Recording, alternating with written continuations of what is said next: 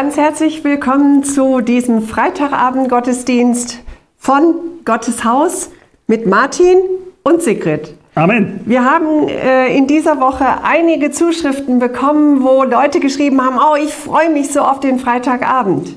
Und das tun wir auch. Wir sind sehr froh, heute Abend, diesen Abend mit euch zusammen zu erleben, mit euch gemeinsam zu verbringen, das Wort Gottes zu betrachten. Wir haben viele Dinge vor. Und äh, heute Morgen bei einer Gebetszeit blieb mein Blick an einem Satz hängen, der in Lukas 17 steht und der hat uns schon sehr ermutigt. Und da sagen die Apostel zu Jesus, mehre uns den Glauben mehre uns den Glauben. Und das ist etwas, was wir von Gottes Haus tun wollen. Wir wollen mit dem Wort Gottes euren Glauben mehren, aufbauen. Und unseren auch. Und unseren auch. Und mhm. bereichern und Fundamente neu wieder festigen. Und äh, gerade in dieser Zeit, die immer noch sehr herausfordernd ist für viele, ähm, wollen wir dieses Gebet in unserem Herzen bewegen. Herr, mehre unseren Glauben. Das heißt so viel wie, wir schließen uns an diese übernatürliche Kraft Gottes heute Abend an und wir erwarten, dass Gott eingreift in jede Lebenssituation von jedem, der hier zuschaut und für jeden, der diesen Gottesdienst in den nächsten Tagen noch schauen wird. Denn die Bibel sagt, dass der Herr der Anfänger und Vollender des Glaubens ist. Amen.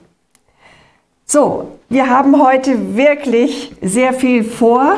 Wenn du das letzte Mal nicht dabei warst, wir hatten gesagt, dass wir heute Abend für die Gebetsanliegen beten wollen, gemeinsam, die in den letzten Wochen reingekommen sind. Ja. Und äh, du siehst hier dieses Körbchen, das ja mh, hm, zu einem, wie soll ich sagen, hm? zu einem Synonym geworden ist, ist. Eine feste Größe geworden. Ja, für die Gebetsanliegen, die bei Gottes Haus eingeschickt werden.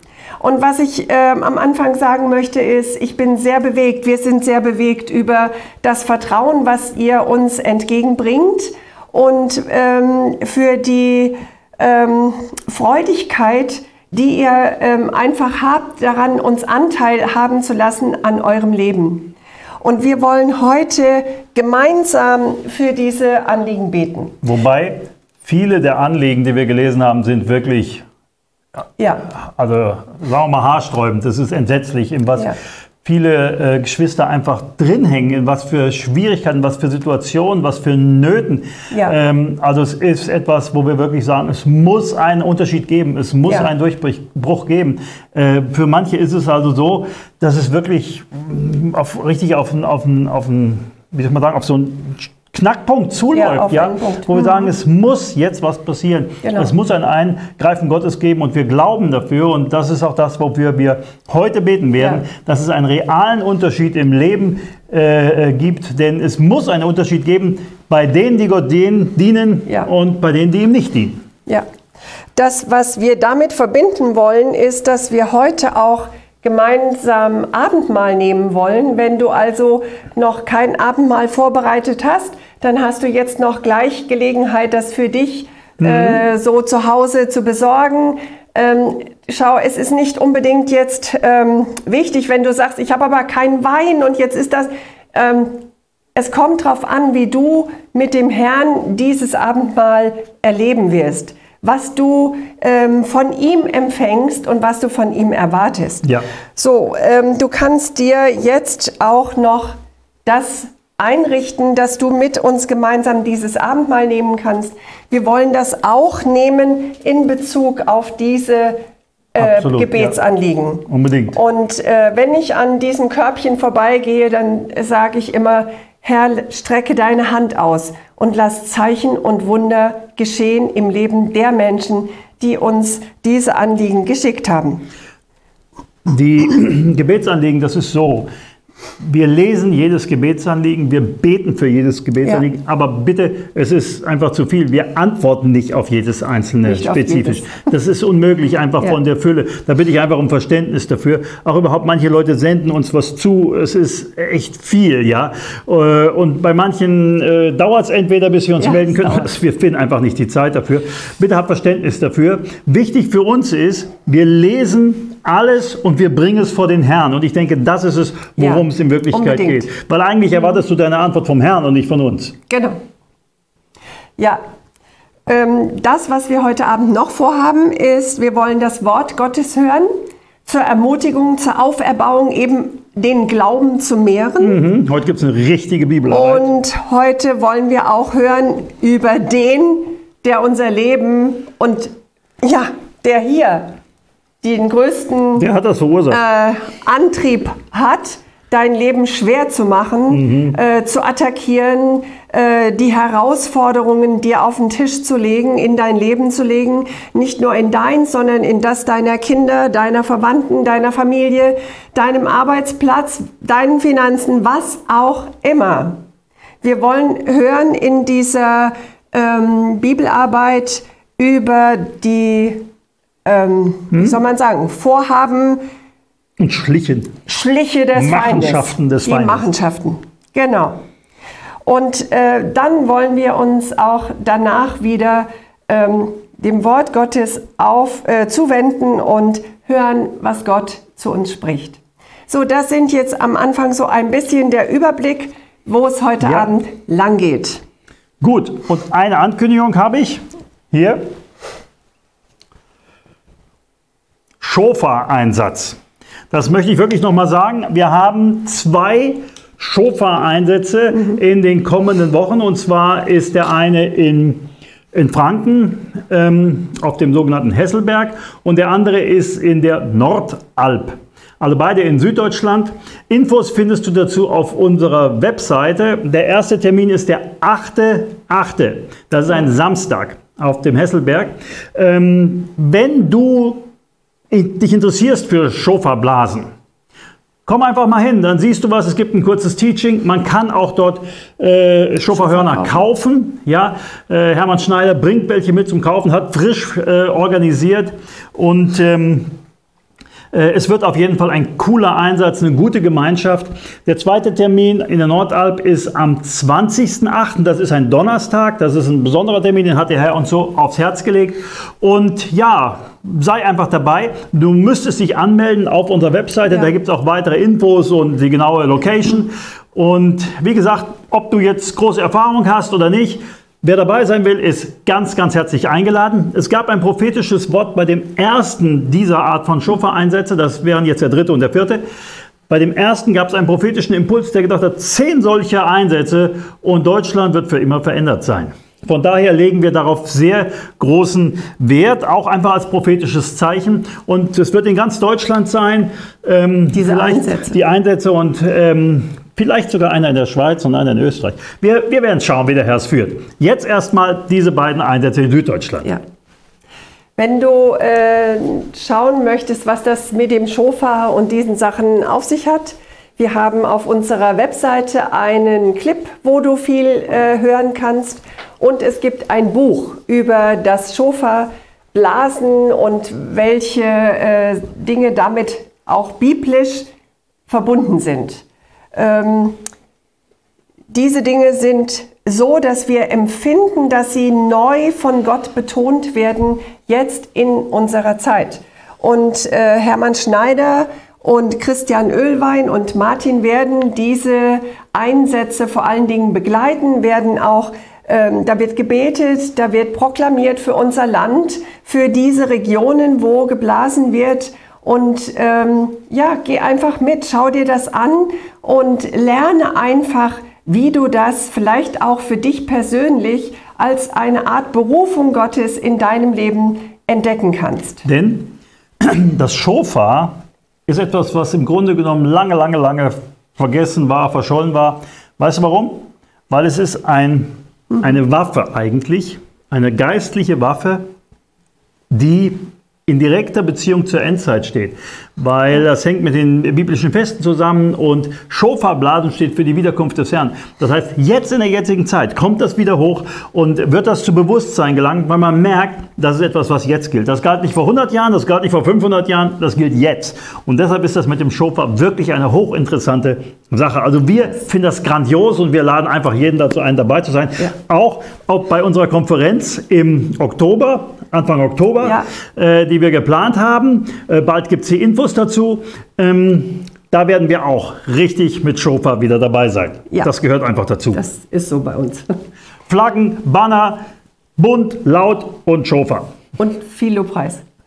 Ähm, genau. Bevor wir jetzt uns auch dem Wort zuwenden, möchte ich mit uns allen beten, ähm, jetzt für diese Konzentration auf das Wort Gottes, auf diesen Abend. Vater im Himmel, wir danken dir, dass du uns jetzt hier in diesem Raum zusammengeführt hast. Wir danken dir, dass dein Wort ewige Wahrheit ist. Wir danken dir, dass du der bist, der von Anfang war, der jetzt ist und der sein wird. Du bist unveränderbar. Wir danken dir, Jesus, dass du dein Leben für uns gegeben hast. Und ich bete für jeden, der nicht in dieser Gewissheit des Glaubens jetzt steht, dass durch diesen Abend Glauben aufsteht, Glaubensraum entsteht, der gefüllt wird von dir, Heiliger Geist. Dass du dich offenbarst in den Menschenleben von den Zuhörern und Zuschauern, die jetzt hier dabei sind. Wir preisen und wir ehren dich Du bist der Anfänger und Vollender unseres Glaubens. Und wir wollen Ausschau halten nach dem, was du heute Abend für uns geplant hast. Yes. Mehre unseren Glauben. Mose hat gebetet, Herr, lass mich deine Herrlichkeit sehen. Herr, wir wollen geöffnete Augen des Glaubens heute Abend haben. Ich bete, dass jedes Hindernis aus dem Weg geräumt Amen. ist. Yes. Ich bete, dass du offen bist in deinem Geist für das Wort Gottes. Ich bete, dass da wirklich etwas in dir ist, was sich ausstreckt nach der Wahrheit des Wortes Gottes, was einfach diesen Hunger und Durst nach dem Wort Gottes hat. Yes. Und dass ein lebensverändernder Abend heute in deinem Leben sein wird. In Jesu Namen. Amen. Amen. Amen. Also wie gesagt, heute unser wichtigster Punkt, Anliegen ja. äh, die uns eingesandt wurden, wofür wir beten werden. Abendmahl. Aber wir ja. fangen an mit einer richtigen Bibelarbeit. Und es wäre gut, wenn du es noch nicht hast, wenn du dir Stift und Zettel dazu holst. Ja. Ähm, denn es gibt einen Haufen Bibelstellen, die es wert sind, sich zu notieren, mal drüber nachzudenken, mhm. vielleicht nachzuschlagen, nachlesen. nachzulesen. Also mhm. ja. bewaffne dich, gleich geht's los hier. Ja. Das Thema ist ja herausfordernd, ne?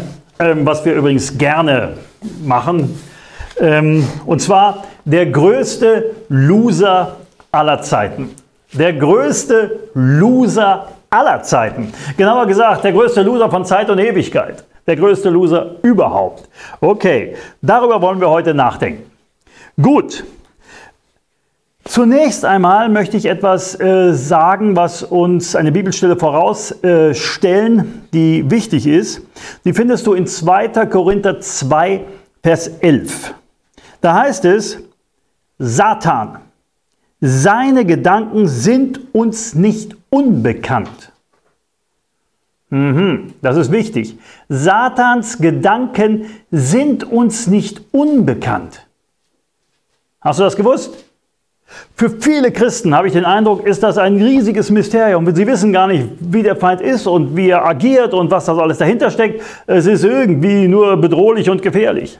Aber die Bibel sagt, eigentlich ist uns das, was er so plant und was seine Gedanken sind, ist uns nicht unbekannt. Wir wissen, wie er agiert.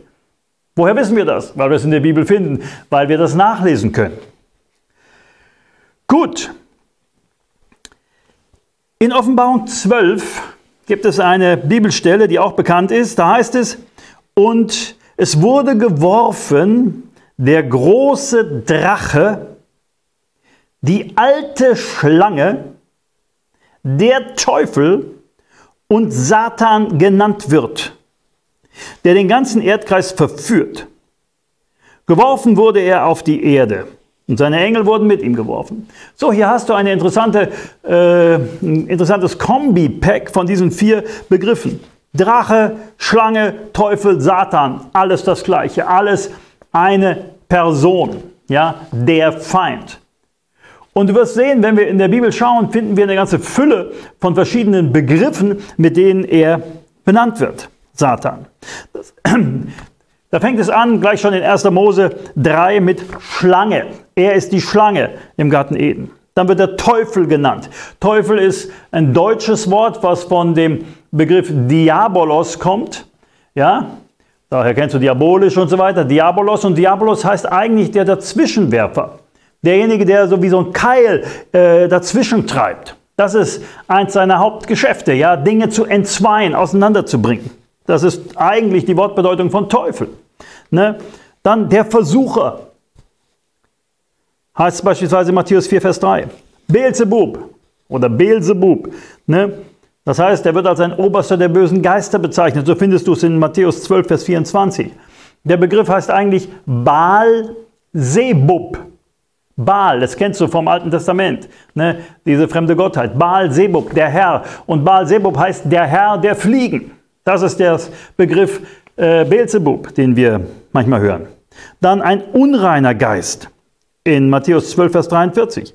Oder einfach der Böse. Matthäus 13, Vers 19. Ein Lügner, ein Mörder von Anfang an, der Vater der Lüge. Johannes 8, Vers 44. Oder, und jetzt wird es interessant, der Fürst dieser Welt. Der Fürst dieser Welt. Johannes 14, Vers 30. Oder der Gott dieser Welt sogar. Der Gott dieser Welt in 2. Korinther 4, Vers 4. Der Mächtige, der in der Luft herrscht. So lesen wir es in Epheser 2, Vers 2. Der Gewaltige, der Herr dieser Welt. Der Herr dieser Welt. Der Mächtige, Epheser 6, Vers 12. Der Widersacher, 1. Petrus 5, Vers 8. Der Verkläger, Offenbarung 12, Vers 10 und viele andere Begriffe. Das hier sind Begriffe, die wir alle kennen, weil wir wissen, so ist der Feind. Ja, er ist ein Versucher, er ist unrein, er ist böse, er ist ein Lügner, gleichzeitig ist er mächtig. Ja, gewaltig, ein Widersacher, ein Verkläger. Ne? Und er ist der Fürst der Welt, der Herr der Welt und sogar der Gott dieser Welt.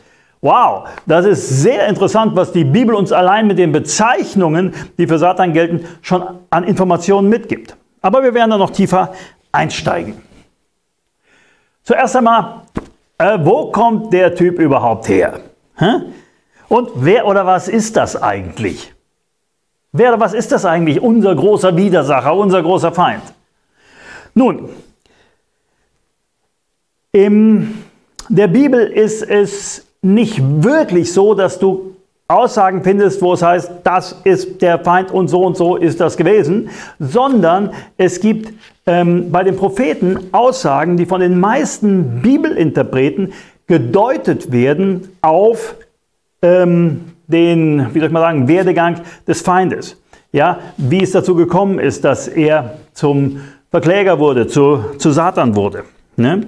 Gut, und da ist es so, zunächst einmal wird er in diesen prophetischen Worten als ein ganz herausragendes Wesen bezeichnet. Als äh, leuchtend, als hell, als sagenhaft schön, als Cherub. Ein Cherub. Ja? So, und er ist gefallen und für ein Wesen dieser Schönheit, dieser Position ist es so, dass es eigentlich ist, das sagt, jetzt ist das geradezu degeneriert, vollkommen minderwertig, ja. Äh, äh, und zwar nur aufgrund seiner Stolz, seiner übersteigerten Selbstliebe ist er vollkommen gefallen. Das finden wir beispielsweise in Hesekiel. So, er war in der unmittelbaren Gegenwart Gottes, er war in seiner Nähe. Er war am Thron Gottes, ein Cherub. Ja? So, und dennoch wurde dort in seinem Innersten irgendetwas geboren, stolz, er schaute auf sich und er wollte Anbetung haben. Anbetung, die nur Gott zusteht. Ja, Gott war auf einmal nicht mehr das absolute Zentrum, der Mittelpunkt für ihn, sondern er drehte sich um sich selbst. Und dann fing er an, den Willen Gottes in Frage zu stellen und er wollte Gott gleich werden. Die Folge war Rebellion. Gut, das ist relativ bekannt, ist aber so nicht wirklich in der Bibel beschrieben, dass du das lesen kannst und es steht da, sondern es sind prophetische Aussagen, die wie gesagt in dieser Richtung äh, zu verstehen sind. Und da lese ich dir mal die beiden wichtigsten jetzt vor, die von Bibelauslegern auf Satan gedeutet werden. Und das solltest du dir aufschreiben, Jesaja 14, Vers 12 bis 16 und Hesekiel 28, Vers 11 bis 17. Okay, zunächst mal hier die Jesaja-Stelle, Jesaja 14. Wie bist du vom Himmel gefallen, du Glanzstern, Sohn der Morgenröte? Wie bist du zu Boden geschmettert, Überwältiger der Nationen? Und du, du sagtest in deinem Herzen, zum Himmel will ich hinaufsteigen, hoch über den Sternen Gottes, meinen Thron aufrichten und mich niedersetzen auf den Versammlungsberg im äußersten Norden. Ich will hinaufsteigen auf Wolkenhöhen, dem Höchsten mich gleich machen. Doch in den Sheol wirst du hinabgestürzt in die tiefste Grube. Die dich sehen, betrachten dich, sehen dich genau an. Ist das der Mann, der die Erde erbeben ließ, Königreiche erschütterte? Also das ist wirklich eine bemerkenswerte Bibelstelle. Ja, der Überwältiger der Nation, der seinen Thron aufrichtet, seinen eigenen, und den gleichzeitig Gott gleich macht, das ist schon auf jeden Fall diabolisch. Und das, was hier am Ende steht, dass die Leute sich das ansehen, wenn er gefallen ist und wenn alles offenbar ist, und sagen, was? Der? Der war das? Der Typ? Ja, die Leute werden irritiert sein, wenn sie sehen, wie klein und wie besiegt er wirklich ist. Ja, äh, wenn ihm diese Macht genommen ist, die er jetzt noch hat. Hesekiel 28 heißt es, und das Wort Jahwes geschah zu mir so. Menschensohn, erhebe ein Klagelied über den König von Tyrus und sage ihm, so spricht der Herr, Jahwe. Hier wird der König von Tyrus angesprochen, aber du merkst gleich, das, was da gesagt wird, geht auf eine andere äh, Ebene. Du warst das vollendetste Siegel aller Weisheit und vollkommen an Schönheit. Du warst in Eden, dem Garten Gottes. Aus Edelstein jeder Art war deine Decke. Karneol, Topaz und Jaspis, Türkis, Onyx und Nephrit, Saphir, Rubin und Smaragd. Und aber den Gold waren deine Ohrringe und deine Perlen an dir. Am Tag, als du geschaffen wurdest, wurden sie bereitet. Du warst ein mit ausgebreiteten Flügeln schimmernder Cherub. Und ich hatte dich dazu gemacht, dazu gemacht. Du warst auf Gottes heiligen Berg. Mitten unter feurigen Steinen gingst du umher. Vollkommen warst du in deinen Wegen, von dem Tag an, als du geschaffen wurdest, bis sich Unrecht in, nein, an dir fand. Durch die Menge deines Handels fülltest du dein Inneres mit Gewalttat und sündigtest. Und ich verstieß dich vom Berg Gottes und trieb dich ins Verderben, du schirmender Cherub, aus der Mitte der feurigen Steine. Dein Herz wollte hoch hinaus, wegen deiner Schönheit. Du hast deine Weisheit zunichte gemacht, um deines Glanzes willen. Ich habe dich zu Boden geworfen. Also der König von Tyrus war jedenfalls kein Cherub. Ja, und Gott spricht hier zweimal davon, dass diese Person ein Cherub ist, ja, von Gott geschaffen worden ist, äh, in der Gegenwart Gottes gewesen ist. Hier wird von diesen feurigen Steinen berichtet. Und das ist wirklich sehr interessant. Und das wird, wie gesagt, auf äh, Satan bezogen. Ja, Cherub, das findest du beispielsweise bei dem Garten Eden, als Adam und Eva ähm, vertrieben worden sind, da war dann da der Cherub mit dem flammenden Schwert, der den Weg versperrt hat. Oder bei der Bundeslade, die von zwei Cherubim beschirmt worden äh, ist. Ne? Übrigens, nur eine kleine Ergänzung. In der Bibel gibt es nur eine einzige Bibelstelle, wo von einem fliegenden Engel die Rede ist. Wir wissen zwar, dass Engel oft Flügel haben, ja, aber ein fliegender Engel gibt es nur ein einziges Mal in der Bibel und zwar in Offenbarung 14, Vers 6. Da heißt es, dass ein Engel geflogen ist. Ja, nur so am Rande. Okay, schauen wir uns mal an, was der Feind so alles macht. Ja, die Werke Satans. Erstens ist ganz klar, er verführt die Menschen der ganzen Erde. Der Verführer. Okay, das ist kein großes Geheimnis. Ne? Ich hatte vorhin die Bibelstelle vorgelesen am Anfang und es wurde geworfen der große Drache, die alte Schlange, der Teufel und Satan genannt wird, der den ganzen Erdkreis verführt. Er ist derjenige, der verführt, und zwar den ganzen Erdkreis. Für alle Verführung, für alles, was sich gegen Gott wendet, ist er äh, verantwortlich. Er ist zuständig. Ja? Er ist der Verführer. Dann ergibt sich manchmal als Engel Gottes aus, als Engel des Lichtes aus. Ja? Um dann durch eine ganz perfide Form von Lügen die Menschen zu verführen. Also er kommt ganz toll daher. Und man denkt, das könnte von Gott sein, aber in Wirklichkeit ist es der Feind, der Verführer. Und da heißt es in 2. Korinther 11, Vers 14, kein Wunder, denn der Satan selbst nimmt die Gestalt eines Engels des Lichtes an. Es ist ja sein früheres Wesen. Er kann das irgendwie zumindest äußerlich irgendwie scheinbar äh, äh, anlegen. Aber hier heißt es ja interessanterweise, er nimmt die Gestalt eines Engels des Lichtes an. Das heißt nicht, dass er das Wesen davon annimmt. Es ist nur eine Verkleidung. Als Widersacher versucht er uns Menschen zu Fall zu bringen. Ja? Und wenn wir äh, wenn Menschen gefallen sind, dann kommt er sofort anschließend mit Anklage und äh, bringt sie dazu, äh, Gott ähm, äh, bei Gott anzuklagen und so weiter. So findest du das beispielsweise bei Hiob. Ja? Und es gelingt ihm tatsächlich, dass Menschen, Männer und Frauen aus dem Volk Gottes, ja, tatsächlich fallen und ihm dann wieder nachfolgen. Also aus der Gnade und aus der Gerechtigkeit und aus der Errettung wieder rausfallen. Das ist eine wirklich ernste Botschaft. Es ist möglich, sein Heil zu verlieren. Da ist das Neue Testament sehr klar. Ne? So ist es beispielsweise äh, in 1. Timotheus 5, Vers 14 und 15, da ist dann an einem Beispiel von Paulus festgehalten, gibt auch andere Beispiele in der Bibel. Hier sind es eben Frauen damals, zu dem damaligen Zeitpunkt, die früh Witwe geworden sind, ja, und er sagt, ey, diese Frauen sollen wieder heiraten, sollen Kinder gebären, den Haushalt führen und damit dem Widersacher keinen Anlass zur Schmähung geben. Und jetzt kommt die entscheidende Stelle, denn schon haben sich einige abgewandt dem Satan nach. Hey, das waren damals Leute, die wirklich dabei waren. Ja, die in Zeichen und Wunder und alles erlebt haben damals in der Urgemeinde. Und trotzdem sind sie gefallen. Warum auch immer. Die Botschaft ist sehr ernst. Christen können fallen. Der Feind kann Christen wirklich so äh, einlullen, dass sie ihr Heil verlieren. Deshalb ist es wichtig, dass wir leben äh, und auf den Herrn fokussiert sind und ihm nachfolgen und, wie soll ich mal sagen, immer mit dem Heiligen Geist connected sind, der uns in die alle Wahrheit leitet, der wirklich unser Führer ist. Es ist absolut notwendig. Leute, die den Heiligen Geist ablehnen, sind offen für jede Form von Verführung.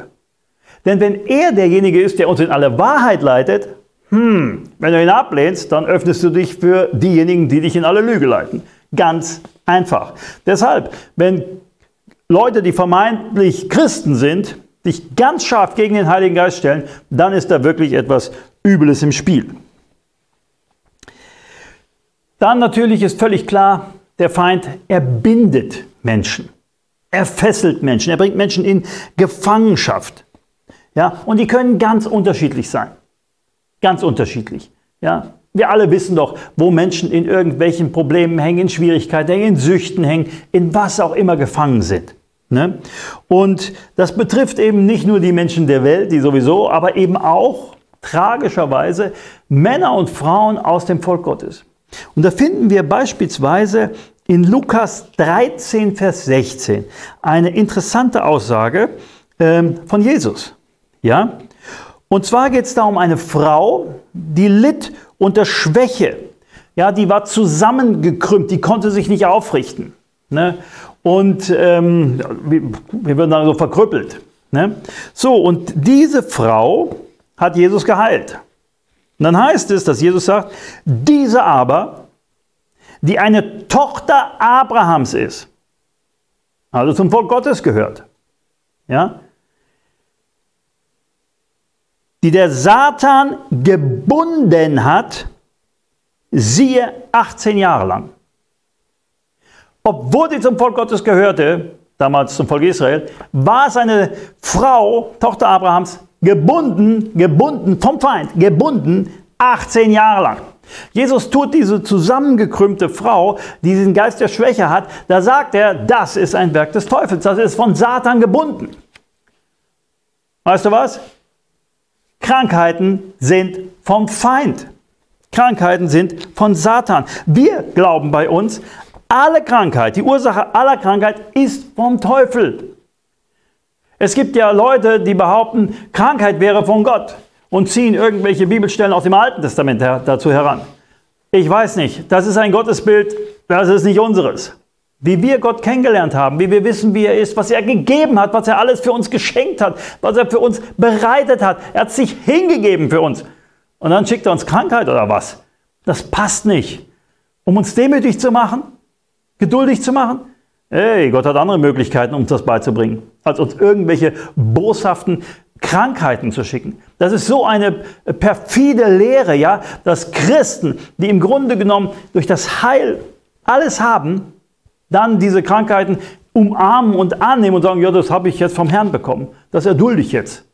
Das ist ganz, ganz abstrus. Und das finden wir ähm, eine interessante Bibelstelle in Apostelgeschichte 10, Vers 38, die uns klar machen, dass Krankheiten etwas sind, was der Feind äh, ähm, nutzt, um uns zu überwältigen, um uns zu vergewaltigen, deine Gewalt aufzuzwingen, ja, ähm, die er in Bosheit einfach gegen uns einsetzt. Und da heißt es in Apostelgeschichte 10, Vers 38, Jesus von Nazareth, wie Gott ihn mit Heiligen Geist und mit Kraft gesalbt hat, der umherging und wohltat und alle, benimm dir mal einen Stift und unterstreich alle, alle, alle heilte, die vom Teufel überwältigt waren. Denn Gott war mit ihm. Er heilte diejenigen, die vom Teufel überwältigt waren. Und er heilte alle. So, weißt du, diese Bibelstelle wurde einmal ähm, zu einem Rema-Wort für einen der mächtigsten Männer Gottes, die es jemals gegeben hat. John G. Lake. Das war der, der die Healing Rooms gegründet hat. John G. Lake vor über 100 Jahren. Der hatte so eine Story von Krankheit und Not in seiner Familie und seiner Verwandtschaft. Er hat gesagt, über Jahre haben sie jedes Jahr ein Familienmitglied, der viel zu früh gestorben ist, haben sie beerdigt. Und irgendwann war seine Frau dran. Todkrank, lag im Sterben. Und er hat gebetet und gemacht und getan. Und die Leute, die zu ihm kamen von der Gemeinde, haben immer nur gesagt, das ist der Wille Gottes, äh, du musst dich da reinfinden, du musst geduldig sein äh, und so weiter und so weiter. Ja? Und er war so verzweifelt. Und irgendwann hat er in der Verzweiflung seine Bibel, ich sag mal, also so in die Ecke geschmissen, nicht wirklich, er hat am Tisch gedonnert. Und die Bibel öffnete sich und sein Blick fällt auf diesen Vers. Und er liest, Jesus von Nazareth, wie Gott ihn mit Heiligen Geist und Kraft gesalbt hat, der umherging und wohltat und alle heilte, die vom Teufel überwältigt waren, denn Gott war mit ihm. Da dämmerte ihm, Moment mal, Heilung ist etwas, weil der Teufel die Menschen überwältigt hat und Jesus ist gekommen, um alle zu heilen, die in dieser Situation drin stecken. Das hat seinen Dienst begründet. Er fing an, in einer anderen Weise zu beten. Seine Frau war innerhalb kürzester Zeit komplett geheilt. Die war auf dem Sterbebett und nach Gebet hat sie die Decke weggeschlagen, ist aufgestanden und hat gesagt, Gott sei Dank, ich bin geheilt.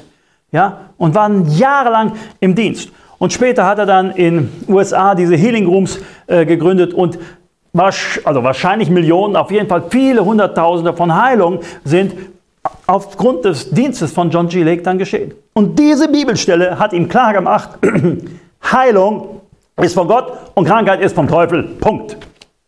Und jede Theologie, die irgendwas anderes äh, erzählt, nach meinem persönlichen Dafürhalten ist es eine Beleidigung Gottes.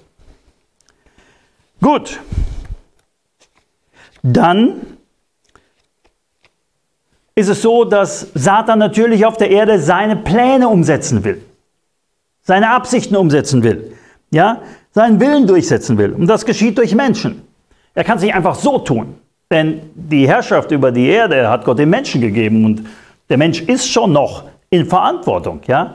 Aber er kann den Mensch beeinflussen, er kann ihn manipulieren, er kann ihn irgendwie kontrollieren und Dinge bewirken, dass der Mensch das tut, was er möchte.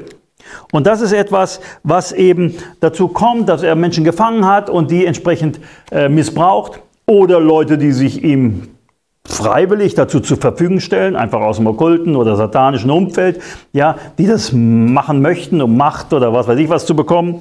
Ne? Und ja, die dann einfach das tun, was die Pläne des Feindes sind. Und da lesen wir in 2. Timotheus 2, Vers 26. Ähm, dass sie wieder aus dem Fallstrick des Teufels heraus nüchtern werden, nachdem sie, und jetzt kommt's, von ihm gefangen worden sind für seinen Willen. Also der Feind nimmt Menschen gefangen, um seinen Willen durchzuführen. Das heißt, wenn Menschen den Willen des Feindes tun, dann sind es nichts anderes als arme Gefangene bedauernswerte Geschöpfe. Mögen sie noch so mächtig sein, mögen sie noch in den dollsten Positionen sein, mögen sie die ganze Welt gewinnen. Ja, wer die ganze Welt gewinnt und Schaden an seiner Seele nimmt, ist ein armes Schwein, weil er wird in der Ewigkeit nicht wiedergefunden werden. Ja, verloren. Was ist das Leben, wenn danach ewige Gottesferne auf einen Menschen wartet? Entsetzlich. Ja, so, der Feind will also Menschen zwingen, seinen Willen zu tun, oder Menschen bieten sich ihm freiwillig an, in seine Dienste zu treten, gegen irgendwelche Benefits, um dann seinen Willen zu tun. Und das sind einfach die Werkzeuge, die er gebraucht, um auf der Erde Böses umzusetzen. Böse Pläne, niederträchtige Pläne, Übles, ja, um die Menschen zu unterjochen, um äh, Kriege äh, äh in die Wege zu, zu weiten und so weiter und so weiter. Ein anderer Punkt, ich hatte es schon mal angesprochen, ist ja, dass er natürlich ein Versucher ist. Ja, gerade in den Zeiten von Schwäche, gerade wenn man bedrängt ist, gerade wenn man äh, eben ja, schwach ist, dann kommt er mit seinen Attacken gegen uns. Und die Bibel sagt, die Hauptattacke, seine Hauptwaffe sind feurige Pfeile, die er nutzt. Und feurige Pfeile, damit meint die Bibel Gedanken. Gedanken, die einfach so angeflogen kommen. Gedanken, die plötzlich da sind überhaupt, du hast vorher keine Sekunde dran gedacht und auf einmal ist da irgendwas. Das kennen viele, viele Leute. Die sagen, ich denke an gar nichts und auf einmal kommt der Impuls, spring jetzt vor den Zug. Ja? Oder der Impuls, gotteslästerliches Zeug auszusprechen oder sowas. Out of the blue. Das sind diese feurigen Pfeile, die vom Feind kommen. Ne? Die werden bei der, ähm, in Epheser 6, bei der Waffenrüstung angesprochen. Kommen wir gleich noch dazu. Aber wir wissen, dass selbst Jesus, als er in der Wüste war, Markus 1, Vers 13, versucht worden ist. Ja? Der Satan kam und versuchte ihn. Dazu sage ich hinterher auch noch was. Insbesondere auf sexuellem Gebiet ist er natürlich ein Versucher. Ja, insbesondere um ihn zu zerstören. Ne? Daher können wir was beispielsweise lesen in 1. Korinther 7, Vers 5. Alles irdische, fleischliche, menschliche Sinnen ist häufig oder vielleicht sogar immer vom Teufel verunreinigt.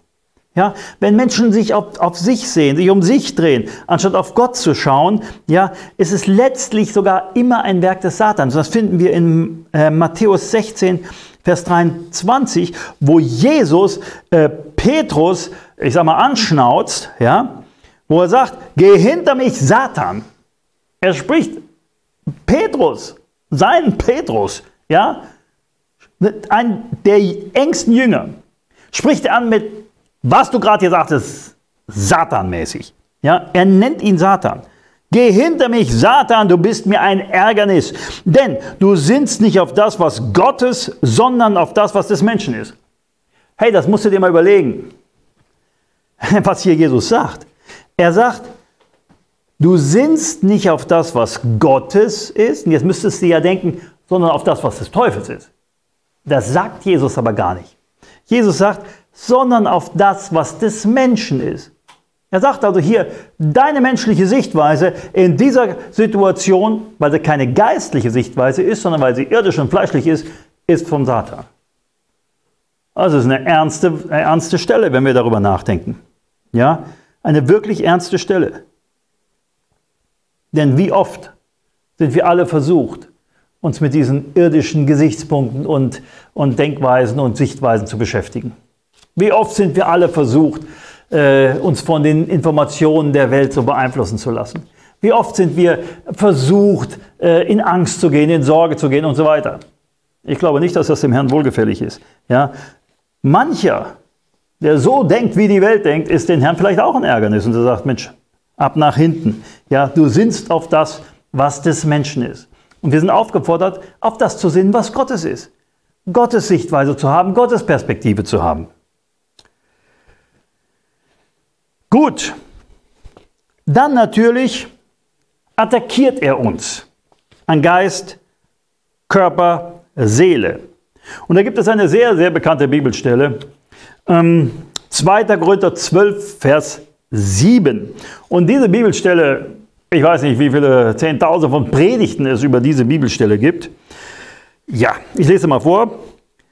Paulus schreibt, darum, damit ich mich nicht überhebe, wurde mir ein Dorn für das Fleisch gegeben, ein Engel Satans, dass er mich mit Fäusten schlage, damit ich mich nicht überhebe. Und über diesen Engel Satans, der mit Fäusten da Paulus malträtiert, wie auch immer, körperlich oder seelisch oder wie auch immer, ja, da gibt es die verschiedensten Auslegungen, was das ist. Das reicht also von Krankheiten über Epilepsie oder irgendwelche Anfälle äh, bis zu tatsächlichen realen Gegnern, also Menschen, die ihm widerstanden haben oder whatever. Weißt du was? Alles Spekulation. Die Bibel sagt es nicht. Weil Gott will nicht, dass irgendwas gesagt wird. Es ist einfach die Nachricht, es gibt hier einen Engel Satans, der ihn malträtiert, in welcher Weise auch immer. Ich könnte mir gut vorstellen, dass das eine reine geistliche Attacke war. Ja? Aber die Bibel sagt es nicht. Der Punkt ist, obwohl er so im Dienst war, obwohl er ein mächtiger Mann Gottes war, obwohl er vorwärts gegangen ist und alles mit dem Herrn richtig gemacht hat, oder fast alles, hat er diese Attacken in seinem persönlichen Leben. Er wird attackiert.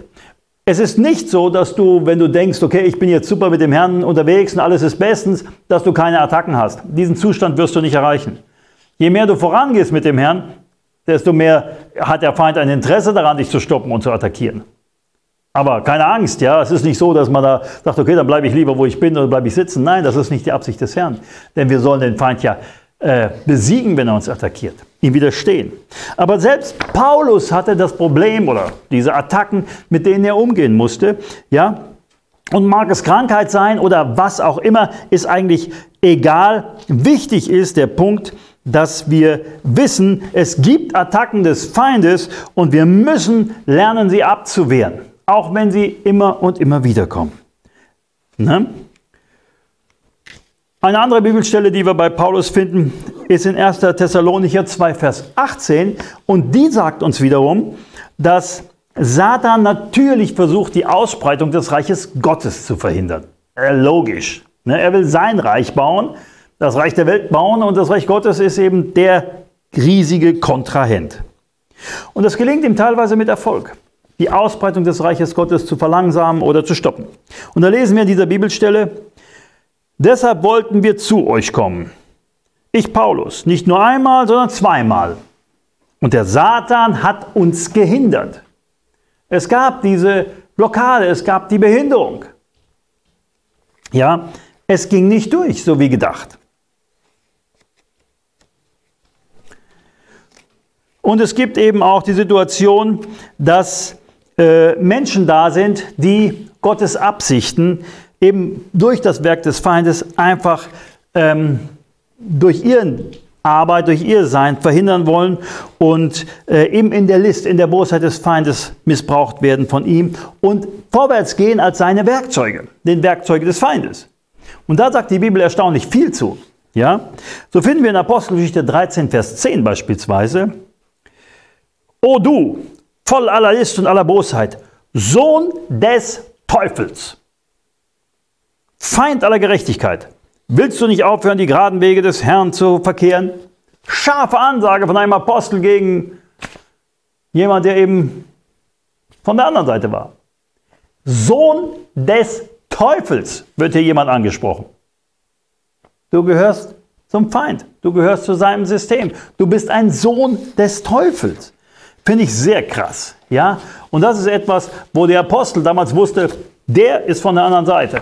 Und der wird konfrontiert.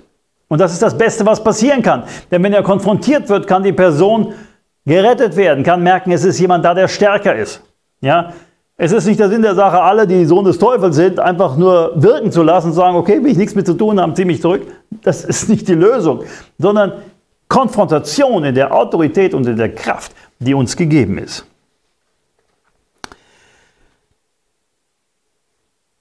Wo immer Menschen das Evangelium ablehnen, ist es letztlich ein Wirken des Feindes. Ist seine Wirkungsweise dahinter. Das finden wir bei Matthäus 13, Vers 19. So oft so oft, wichtiges Wort, so oft jemand das Wort vom Reich hört und nicht versteht, kommt der Böse und reißt weg, was in sein Herz gesät war. Ja, wenn jemand das Evangelium hört und nicht annimmt, der Feind ist sofort da und nimmt es weg. Ja, das ist diese Sache mit dem vierfachen Ackerfeld. Der Feind ist sofort da und raubt es. Ja, weil er weiß, wenn das in dem Herzen des Menschen, der Person äh, äh, keimt und Wurzeln schlägt, dann kann etwas hervorwachsen. Und das will er nicht. Ja, er will nicht, dass da Frucht kommt, sondern er will es wegreißen. So oft, so oft jemand das hört, ja, ist der Feind da und versucht, es wegzunehmen, was ins Herz gesät war. Letztlich können wir sagen, dass die Ursache allen Unglaubens ein Werk des Feindes ist. So finden wir in Lukas 8, Vers 12, und da geht es um das vierfache Ackerfeld, die aber an dem Weg sind, ja, die welche hören, dann kommt der Teufel und nimmt das Wort von ihren Herzen weg, damit sie nicht glauben und errettet werden. Gleiches Thema. Damit sie nicht glauben und errettet werden. Der Teufel kommt und raubt das Wort, raubt das, äh, äh, was diese Menschen erlösen kann, retten kann. Es ist die Absicht des Feindes, dass niemand gerettet wird. Aber Gott sagt, er will, dass alle Menschen errettet werden und zur Erkenntnis der Wahrheit kommen. Und da hast du einfach diesen Konflikt, du hast diesen Kampf, du hast diese Licht-Dunkelheit-Situation. Gut, böse, die aufeinander prallen.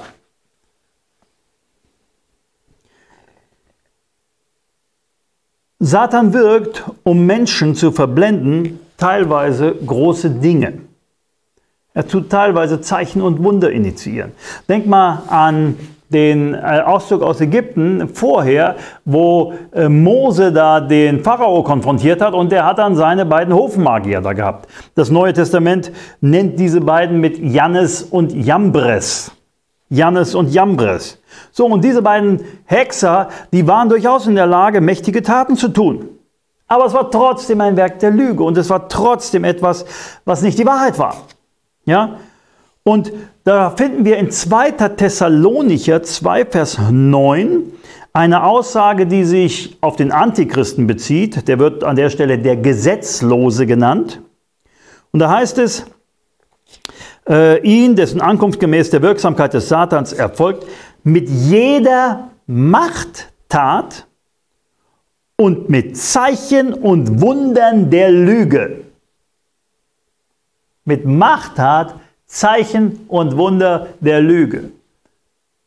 Also nur weil irgendwo was Übernatürliches passiert, heißt das noch lange nicht, dass das von Gott ist. Das ist in der Esoterik mit irgendwelchen komischen Geistheilern und sonst was, ja, Lichtarbeitern und was es da alles gibt. Vorsicht!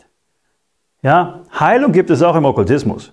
Heilung gibt es auch bei Sachen, wo wir wissen, es ist absolut böse. Ne? Was nützt es einem Menschen, wenn er am Körper geheilt wird und dann in Ewigkeit verloren ist? Das ist fürchterlich. Zeichen und Wunder der Lüge, die gibt es. Vorsicht. Dann natürlich ist vollkommen klar, Satan widersteht Gott, er widersteht seinen Engeln. Da gibt es die bekannte Story in Daniel. Daniel 10, Vers 12 bis 21, eine äh, sehr zentrale Stelle im Buch Daniel. Da können wir daraus sehen, wie Satan versucht, Gebetserhörung zu blockieren, Gebetserhörung zu verzögern, zu, zu nicht durchkommen zu lassen.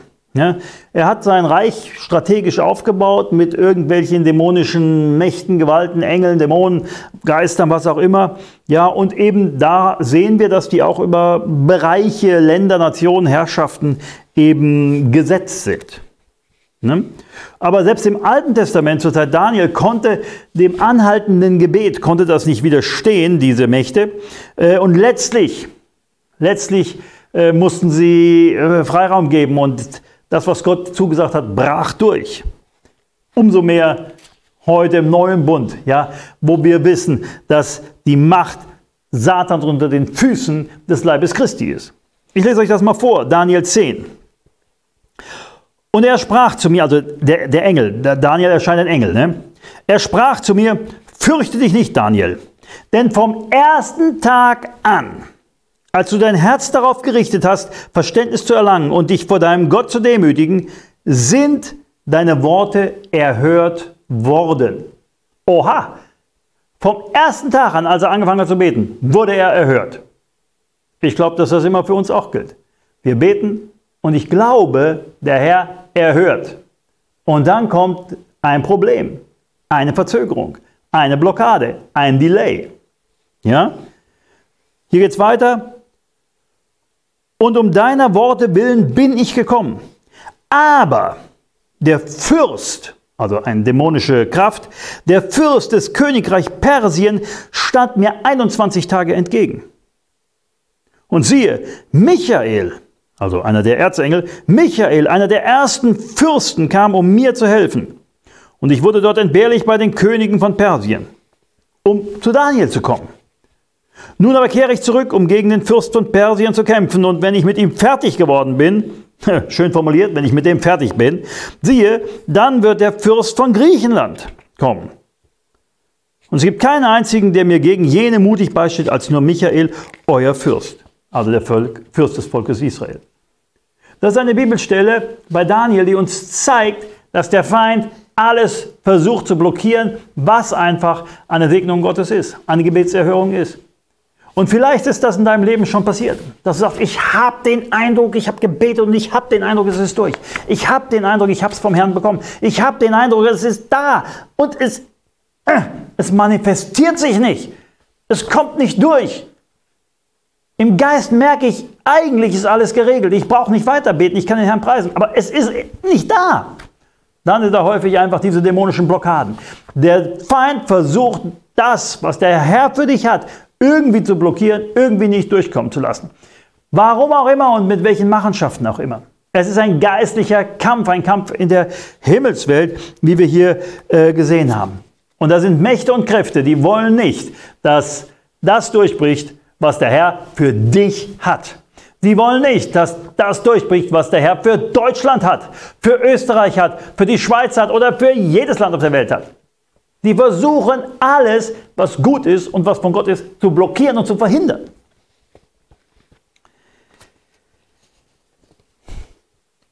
Ein Punkt, der auch leider in manchen christlichen Kreisen verbreitet ist, ist Geschwätz, ne?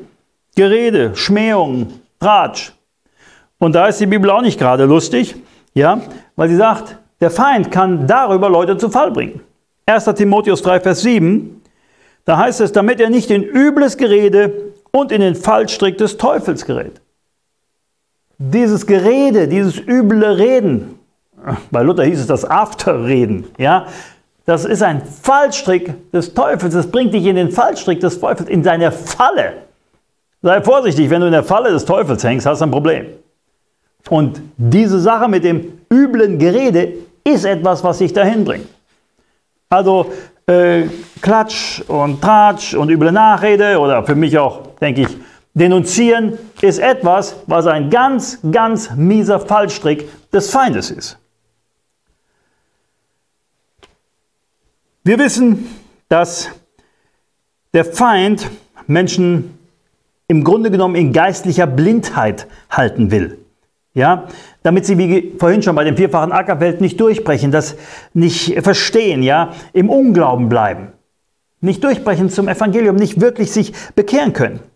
In 2. Korinther 4, Vers 4 heißt es, den Ungläubigen, bei denen der Gott dieser Welt, der Gott dieser Welt, ein Name Satans, den Sinn verblendet hat. Den Sinn verblendet hat. Also das sind Menschen, die nicht glauben sind, die sind verblendet in ihrem Sinn durch die Machenschaften des Feindes. Ne?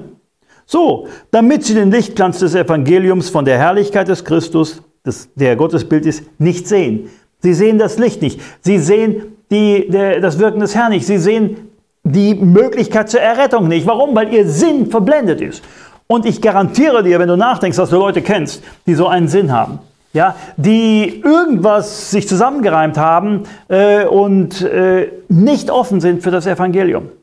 Manche Leute liegen im Sterben und weigern sich, ihre Rettung anzunehmen, die immer noch da ist. Ja, es ist so fürchterlich, weil der Feind ihnen den Sinn verblendet hat.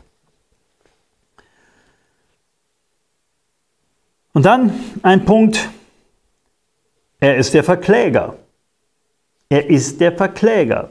Er verklagt die Söhne und Töchter Gottes. Er verklagt sie.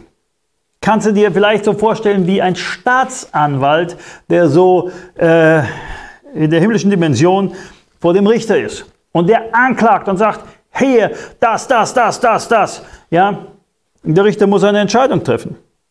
Auf der einen Seite versucht er, den Menschen in Sünde zu verstricken. Und so wie das passiert ist, kommt er sofort zu Gott, bringt hier, guck mal, was der gemacht hat und konfrontiert ihn mit Anklage. Anklage. Ja? Offenbarung 12, Vers 10 sagt, dass das ein Ende haben wird. Da lesen wir, hinabgeworden ist der Verkläger unserer Brüder, der sie Tag und Nacht vor unserem Gott verklagte. Es kommt ein Zeitpunkt, wo das aufhört, wo dieses ständige, kontinuierliche Anklagen, dieses Verklagen vor Gott, wie so eine Gerichtssache, ja, wo das einmal zum Ende kommt. Der Feind versucht, uns zu Fall zu bringen durch religiöse Lehre. Ja, durch irgendwelche Lehre von dämonisch, die dämonisch infiltriert sind. Ne? Und das ist etwas, was wir momentan wirklich erleben, was wir wirklich sehen können. Ne? Da heißt es in 1. Timotheus 4, Vers 1, der Geist, der Geist aber sagt ausdrücklich, dass in späteren Zeiten manche vom Glauben abfallen werden, indem sie auf betrügerische Geister und Lehren von Dämonen achten. Also Lehren, die dämonisch infiltriert sind. Dinge, die dämonisch beeinflusst sind, wo es nicht wirklich aus dem Geist Gottes heraus ge äh, äh, ist, wo irgendwelche Dinge dazugekommen sind. Ja, Sonderlehren, komische Sachen, die sich mit der Bibel nicht decken. Für mich sind das beispielsweise Dinge, wenn jemand sagt, ähm, Gott verändert sich. Wo wir doch wissen, Gott verändert sich niemals. Er ist immer der gleiche, ist ja sein Name. Ne? Die sagen, ja, zu manchen Zeiten hat er so gehandelt und dann wieder anders und äh, äh, dann wieder nochmal anders, so ambivalent. Weißt du, ich glaube das nicht. Ich glaube, es ist absolut verlässlich, was Gott sagt. Und dass das, was damals galt und was damals in der Urgemeinde war, dass es genauso noch heute ist. Ja, und wenn er damals uns den Missionsbefehl gegeben hat, gilt er genauso heute. Und wenn er damals gesagt hat, äh, halt Kranke, dann gilt das heute. Und wenn er damals gesagt hat, treibt Dämonen aus, gilt das heute. Ja, und es gibt Leute, die sagen, nee, das war nur damals und heute nicht mehr. Das halte ich für sehr gefährlich. Ja? Und es ist so, dass manche Leute sogar vom Glauben abfallen werden, weil irgendwelche komischen Sachen da reinkommen, in irgendwelche äh, äh, sektiererischen Sachen und so. Wir müssen aufpassen. Und da ist eben der Punkt, dass wir jetzt alles am Wort prüfen können, an der Bibel. Die ist unser Maßstab und die ist unsere Richtung. Aber bitte richtig prüfen und nicht nur ein paar Rosinen rauspicken, die, dir, äh, äh, die einem gefallen, sondern dass man sagt, ich nehme das wirklich. Weißt du, so wenige Christen lesen wirklich die Bibel. Lies sie doch mal durch.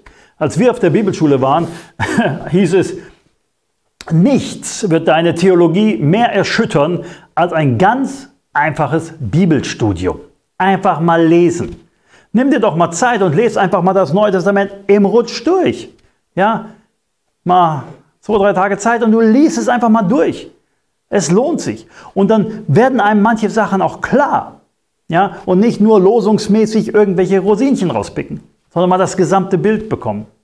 Wenn du einem Neubekehrten, der keine Ahnung von irgendwelchen christlichen Sonderlehren oder sonst was hast, das Neue Testament gibt und sagt, lest dir das mal durch und dann beantwortest du mir die Frage, ob Jesus heute noch heilt, weißt du was? In 100% der Fälle sagt er, natürlich heilt Jesus noch.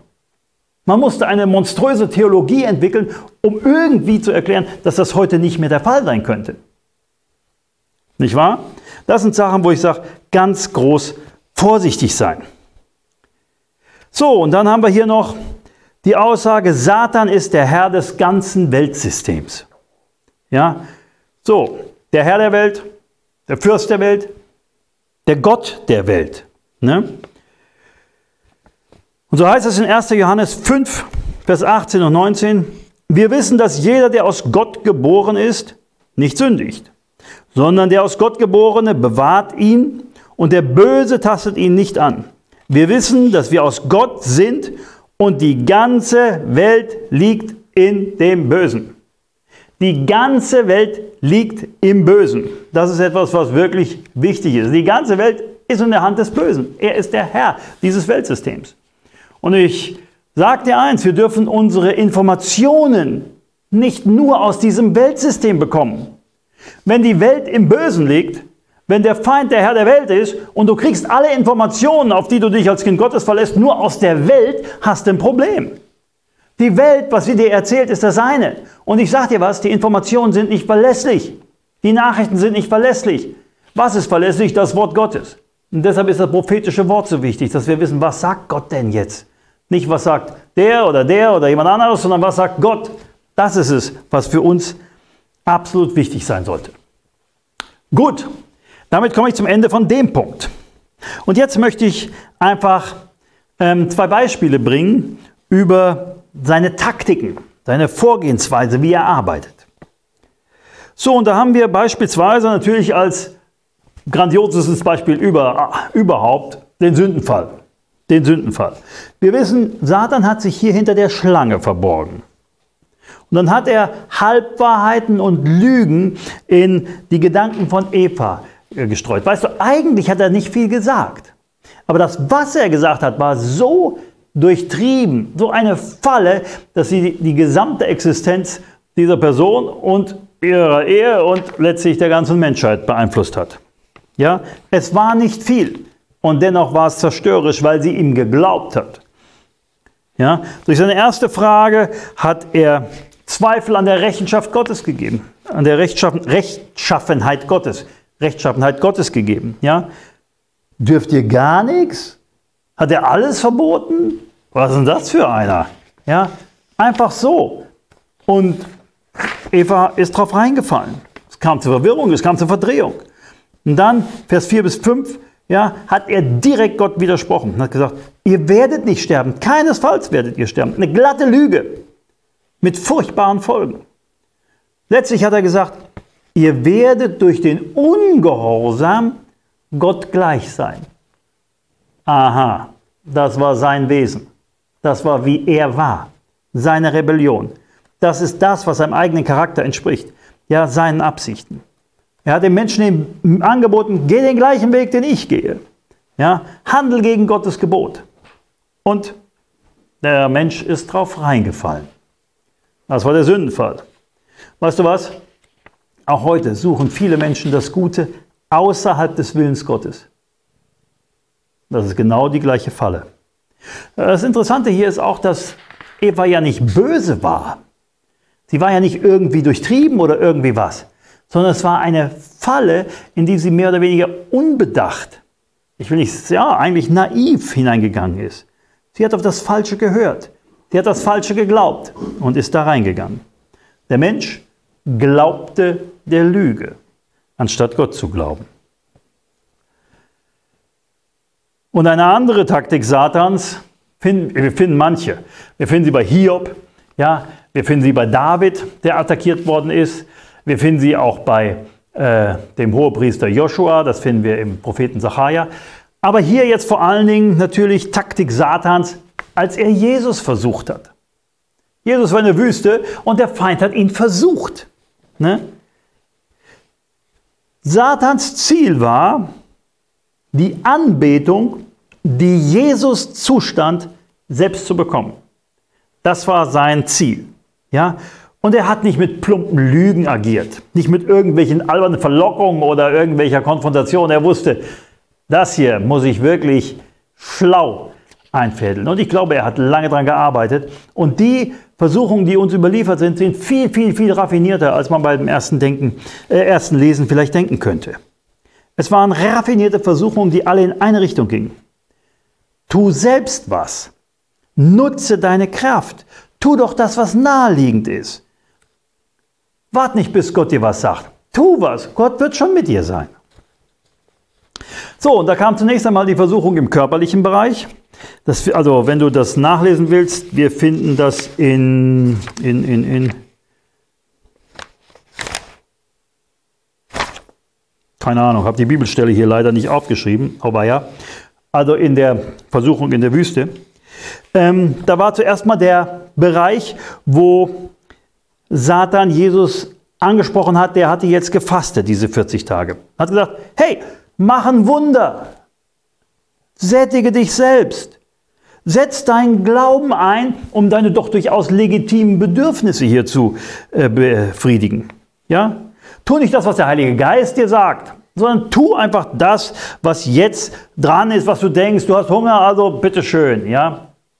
Tu ein Wunder, damit es dir gut geht. Das war eine Falle. Jesus ist nicht darauf reingegangen. Dann war das nächste, da sollte er von der Tempelzinne herabspringen. Hey, das war voller Tücke. Die Aussage war, hey, mach was Spektakuläres. Ja, dein Dienst wird schnell sein, wird groß sein. Ja, die Menschen werden dir folgen, die werden dich vergöttern. Jeder wird dich als Messias anerkennen. Wenn du da einfach die Menschen sehen, hey, Gott ist mit dem, ja, ohne Schwierigkeiten, ohne Verfolgung, ohne Leiden, hey, probier das aus. Gott wird dir doch verheißen, er wird seine Verheißung erfüllen. Tu doch mal so einen Glaubensschritt. Ne? Auch da wieder, tu nicht das, was der Heilige Geist dir sagt, sondern tu das, was du denkst. Ich habe gerade heute Morgen äh, mit der Tanja von der Armenspeisung in ähm, Südafrika telefoniert und die hat gesagt, es gibt da wirklich teilweise sehr, sehr schräge Sachen. Da gibt es sektiererische Gruppen, die äh, beispielsweise genau sowas machen. Die nehmen die Aussage, wenn sie etwas Tödliches trinken werden, wird es ihnen nicht schaden. Und es wird zum Glaubensprobe, wenn du Gift trinkst, ob du dann stirbst oder nicht. Ist das verrückt? Da gibt es Gruppierungen, die essen Glassplitter. Ja? Und wenn das keinen Schaden hat, dann bist du ein Mensch des Glaubens. Und wenn die halt schädigt, dann hast du halt nicht geglaubt. Wer stirbt, der hat nicht geglaubt. Ja, das ist vollkommener Wahnsinn, aber das ist genau das, was hier der Versuch war, des Feindes Jesus ähm, zu überwältigen. Ja? Tu was Spektakuläres, beweis, dass Gott mit dir ist. Zeig deinen Glauben. So, und das dritte war das, wo der Feind dann diese ganzen Weltsystem gezeigt hat. Warum konnte er das eigentlich machen? Alle Reiche der Welt, genau, weil er sie alle unter seiner Herrschaft hatte, der Fürst der Welt, der Herr der Welt. Ne? Er hatte Macht über die, äh, diese Welt. So, er hat sie im Grunde genommen legal Jesus angeboten. Und ich denke, seine Aussage war, hey, du kannst alles bekommen, guck dir doch an. Du bist hergekommen, um Menschen zu retten. Ich biet's dir doch an. Du kannst es alles haben. Kein Problem. Das, weshalb du gekommen bist, ich gebe dir doch alles. Mach doch nicht so einen Stress. Kannst du alles haben. Betest mich an, kriegst alles. Ohne Leiden, ohne Tod, ohne Probleme, alles. Ich geb's dir. Das war raffiniert. Raffiniert. Jesus ist gekommen, um die Welt zu befreien. Und der Feind hat ihm genau das angeboten. Er hat gesagt, kriegst du alles. Ja? Wenn du mich anbetest. Aber durch die Anbetung hätte Jesus Satan akzeptiert. Ja, er hätte letztlich dessen Göttlichkeit anerkannt. So, im Grunde genommen wäre dadurch die Dreieinigkeit zerbrochen. Satan hätte sein Ziel erreicht. Und weißt du was? Die Welt wäre als Preis ihm locker das wert gewesen. Locker. Ja, er hat ganz andere Pläne und Absichten.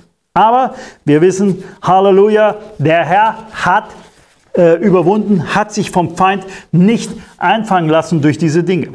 Ne? Er hat überwunden durch das Schwert des Geistes, durch das Wort. Er hat durch das Wort den Feind in die Flucht geschlagen. Und das müssen du und ich auch tun.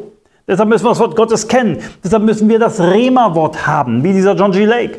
Das Rema-Wort wurde zu einem Ding, mit dem er gegangen ist und die Werke des Feindes zerstört hat im Leben von Zehntausenden von Menschen.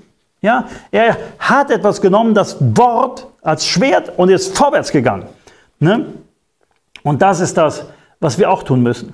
Das Wort ist eine Waffe, deshalb bezeichnet die Bibel es als Schwert. Und es ist etwas, was gegen den Feind geht. Gut, dann möchte ich was zu seinem Herrschaftsbereich sagen, dem Herrschaftsbereich des Feindes. Nun, zunächst einmal offensichtlich erstreckt sich das über die Menschen, die in Sünde leben. Ne? Die Menschen, die in Sünde leben, finden wir in 1. Johannes 3, Vers 8 bis 10. Das ist unerlöste Menschen, das sind die, die Kinder des Teufels genannt werden. Ne? Da finden wir in Johannes 8, Vers 44 folgende Aussage. Ihr seid aus dem Vater, dem Teufel, und die Begierden eures Vaters wollt ihr tun. Jener war ein Menschenmörder von Anfang an und stand nicht in der Wahrheit, weil keine Wahrheit in ihm ist. Wenn er die Lüge redet, so redet er aus seinem eigenen, denn er ist ein Lügner und der Vater derselben. Hier sagt Jesus also, ihr seid Kinder des Teufels. Er spricht Menschen so an. Ja? Ihr seid Kinder des Teufels, weil er gesagt hat, ihr seid unter dem Herrschaftsbereich des Feindes. Ihr seid unter seinem Herrschaftssystem, seiner Autorität. Ja? Und wie schon gesagt, 1. Johannes 3, Vers 8 bis 10, da heißt es, wer die Sünde tut, ist aus dem Teufel. Denn der Teufel sündigt von Anfang an.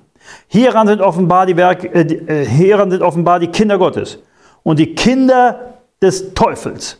Jeder, der nicht Gerechtigkeit tut, ist nicht aus Gott. Und wer nicht seinen Bruder liebt. Kinder des Teufels. Das heißt Menschen, die zum Herrschaftsbereich des Feindes gehören. Wie schon gesagt, dieser Herrschaftsbereich erstreckt sich über das gesamte Weltsystem.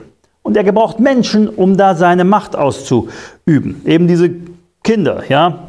Oder wie es in Epheser 2, Vers 2 heißt, die Söhne des Ungehorsams, ne? die er missbraucht, um sein Ding zu tun. Söhne des Ungehorsams, in denen, also in Sünden, in denen ihr einst wandeltet, gemäß dem Zeitlauf dieser Welt, gemäß dem Fürsten der Macht der Luft, des Geistes, der jetzt in den Söhnen des Ungehorsams wirkt. Völlig klar, es gibt Menschen und es gibt viele Menschen, es sind Millionen auf dem Globus, in denen der Feind wirkt und in denen er seine Ziele und seine Absichten versucht durchzusetzen. Und genauso gibt es die Kinder des Lichts, die Kinder Gottes, der Leib Christi, die dem widerstehen. Es ist ein Kampf, ein realer, echter Kampf auf der geistlichen Ebene. Er ist der Weltbeherrscher der gefallenen Schöpfung. Und wenn wir die super bekannte Bibelstelle in Epheser 6 lesen, Epheser 6 ab Vers 10, da geht es um diese Waffenrüstung. Und da möchte ich auch noch mal mit dir kurz drüber sprechen. Ich lese das mal vor. 10 bis 18. Zieht die ganze Waffenrüstung Gottes an, damit ihr gegen die Listen des Teufels bestehen könnt. Denn unser Kampf, unser, unser Kampf ist nicht gegen Fleisch und Blut, sondern gegen die Gewalten, gegen die Mächte, gegen die Weltbeherrschaft dieser Finsternis, gegen die geistlichen Mächte der Bosheit in der Himmelswelt. Deshalb ergreift die ganze Waffenrüstung Gottes, damit ihr an dem bösen Tag widerstehen und wenn ihr alles ausgerichtet habt, stehen bleiben könnt. So steht nun, eure Lenden umgürtet mit Wahrheit bekleidet mit dem Brustpanzer der Gerechtigkeit, beschut an den Füßen mit der Bereitschaft zur Verkündigung des Evangeliums des Friedens. Bei all dem ergreift den Schild des Glaubens, mit dem ihr alle feurigen Pfeile des Bösen, wie schon gehört, das sind diese Gedanken, die dich anfliegen, feurige Pfeile des Bösen, auslöschen könnt. Nehmt auch den Helm des Heils und das Schwert des Geistes, das ist Gottes Wort. Mit allem Gebet und Flehen betet zu jeder Zeit im Geist und wacht hierzu in allem Anhalten und Flehen für alle Heiligen. Wow, ich denke mal, du hast bestimmt schon diverse Predigten über diese Waffenrüstung gehört. Und es gibt schöne, wirklich gute Predigten, die das ausmalen und so weiter. Aber weißt du was? Die Waffenrüstung ist dir gegeben für den Kampf, in dem du stehst. Wenn du auf dem Sofa sitzt, brauchst du keine Waffenrüstung. Ja? Die Waffenrüstung brauchst du, wenn du im Kampf bist. Und dieser Kampf ist echt real und sehr kernig. Hör mal zu, was hier steht. Zieht die ganze Waffenrüstung Gottes an, damit, es gibt einen Grund, warum wir die anhaben müssen, damit ihr gegen die Listen des Teufels bestehen könnt. Bestehen. Da steckt ja das Wort, steckt ja das Wort stehen drin. Ja, stehen. Und jetzt kommt's. Denn unser Kampf ist nicht gegen Fleisch und Blut, sondern unser Kampf ist gegen die Gewalten, gegen die Mächte, gegen die Weltbeherrscher dieser Finsternis, gegen die geistigen Mächte der Bosheit in der Himmelswelt. Das ist dein Kampf. Das ist mein Kampf. Das ist unser Kampf. Nicht auf der irdischen Ebene, nicht gegen Fleisch und Blut. Wir kämpfen nicht auf dem natürlichen Bereich. Wir attackieren nicht Menschen im Natürlichen, gar nicht. Aber in der geistlichen Welt gehen wir gegen die Machtstrukturen des Feindes, gegen diese Gewalten und so weiter, gehen wir an. Und weißt du was? Viele Christen tun das nicht. Viele Christen tun es nicht, weil sie sagen, oh nein, das mache ich nicht, das ist gefährlich, das ist gar nicht unser Ding. Wie kommst du da drauf? Hier steht es doch glasklar drin. Das ist dein Kampf. Du hast dich dagegen zu stellen, gegen die Machenschaften des Feindes. Deshalb hast du die Waffenrüstung. Ja? Es ist ein geistlicher Kampf, den brauchst du nicht zur Dekoration, sondern damit gehst du vorwärts und du konfrontierst die Dinge, äh, äh, die einfach böse sind und schlecht sind. Konfrontiere Krankheit, konfrontiere Zerstörung, im, vielleicht in deiner Familie. Konfrontiere, wo Mächte deine Lieben gefangen halten in irgendwelchen ätzenden Sachen, in Sünden, in Bindung oder indem sie sich nicht bekehren, in der Gefahr verloren zu werden. Konfrontiere es im Gebet. So viele Christen machen das nicht, sondern sie haben ständig nur dieses Ding wie eine To-Do-Liste für Gott. Oh Gott, mach dies, oh Gott, mach das, oh Gott, mach jenes. Aber weißt du, ähm, irgendwann müssen wir erwachsen werden. Ja, es gibt eine Zeit, wo der Herr sich wirklich um uns kümmert und uns mit allem versorgt. Aber es gibt auch eine Zeit, wo wir anfangen müssen, selber voranzugehen und selber das zu tun, was er uns sagt. Und er sagt, hey, du hast die Waffenrüstung an, damit du kämpfst. Die brauchst du nicht, wenn ich kämpfe. Die habe ich dir gegeben, damit du kämpfst und du die Mächte, die gegen dich kommen, gegen dich anstehen, in der Autorität, die ich dir gegeben habe, besiegst. Ja?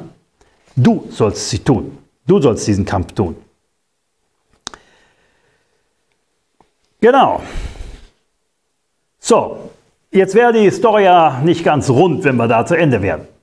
Deshalb kommt jetzt was Cooles, nämlich wir wollen nachdenken über den Untergang Satans, das Gericht und den Sieg über ihn.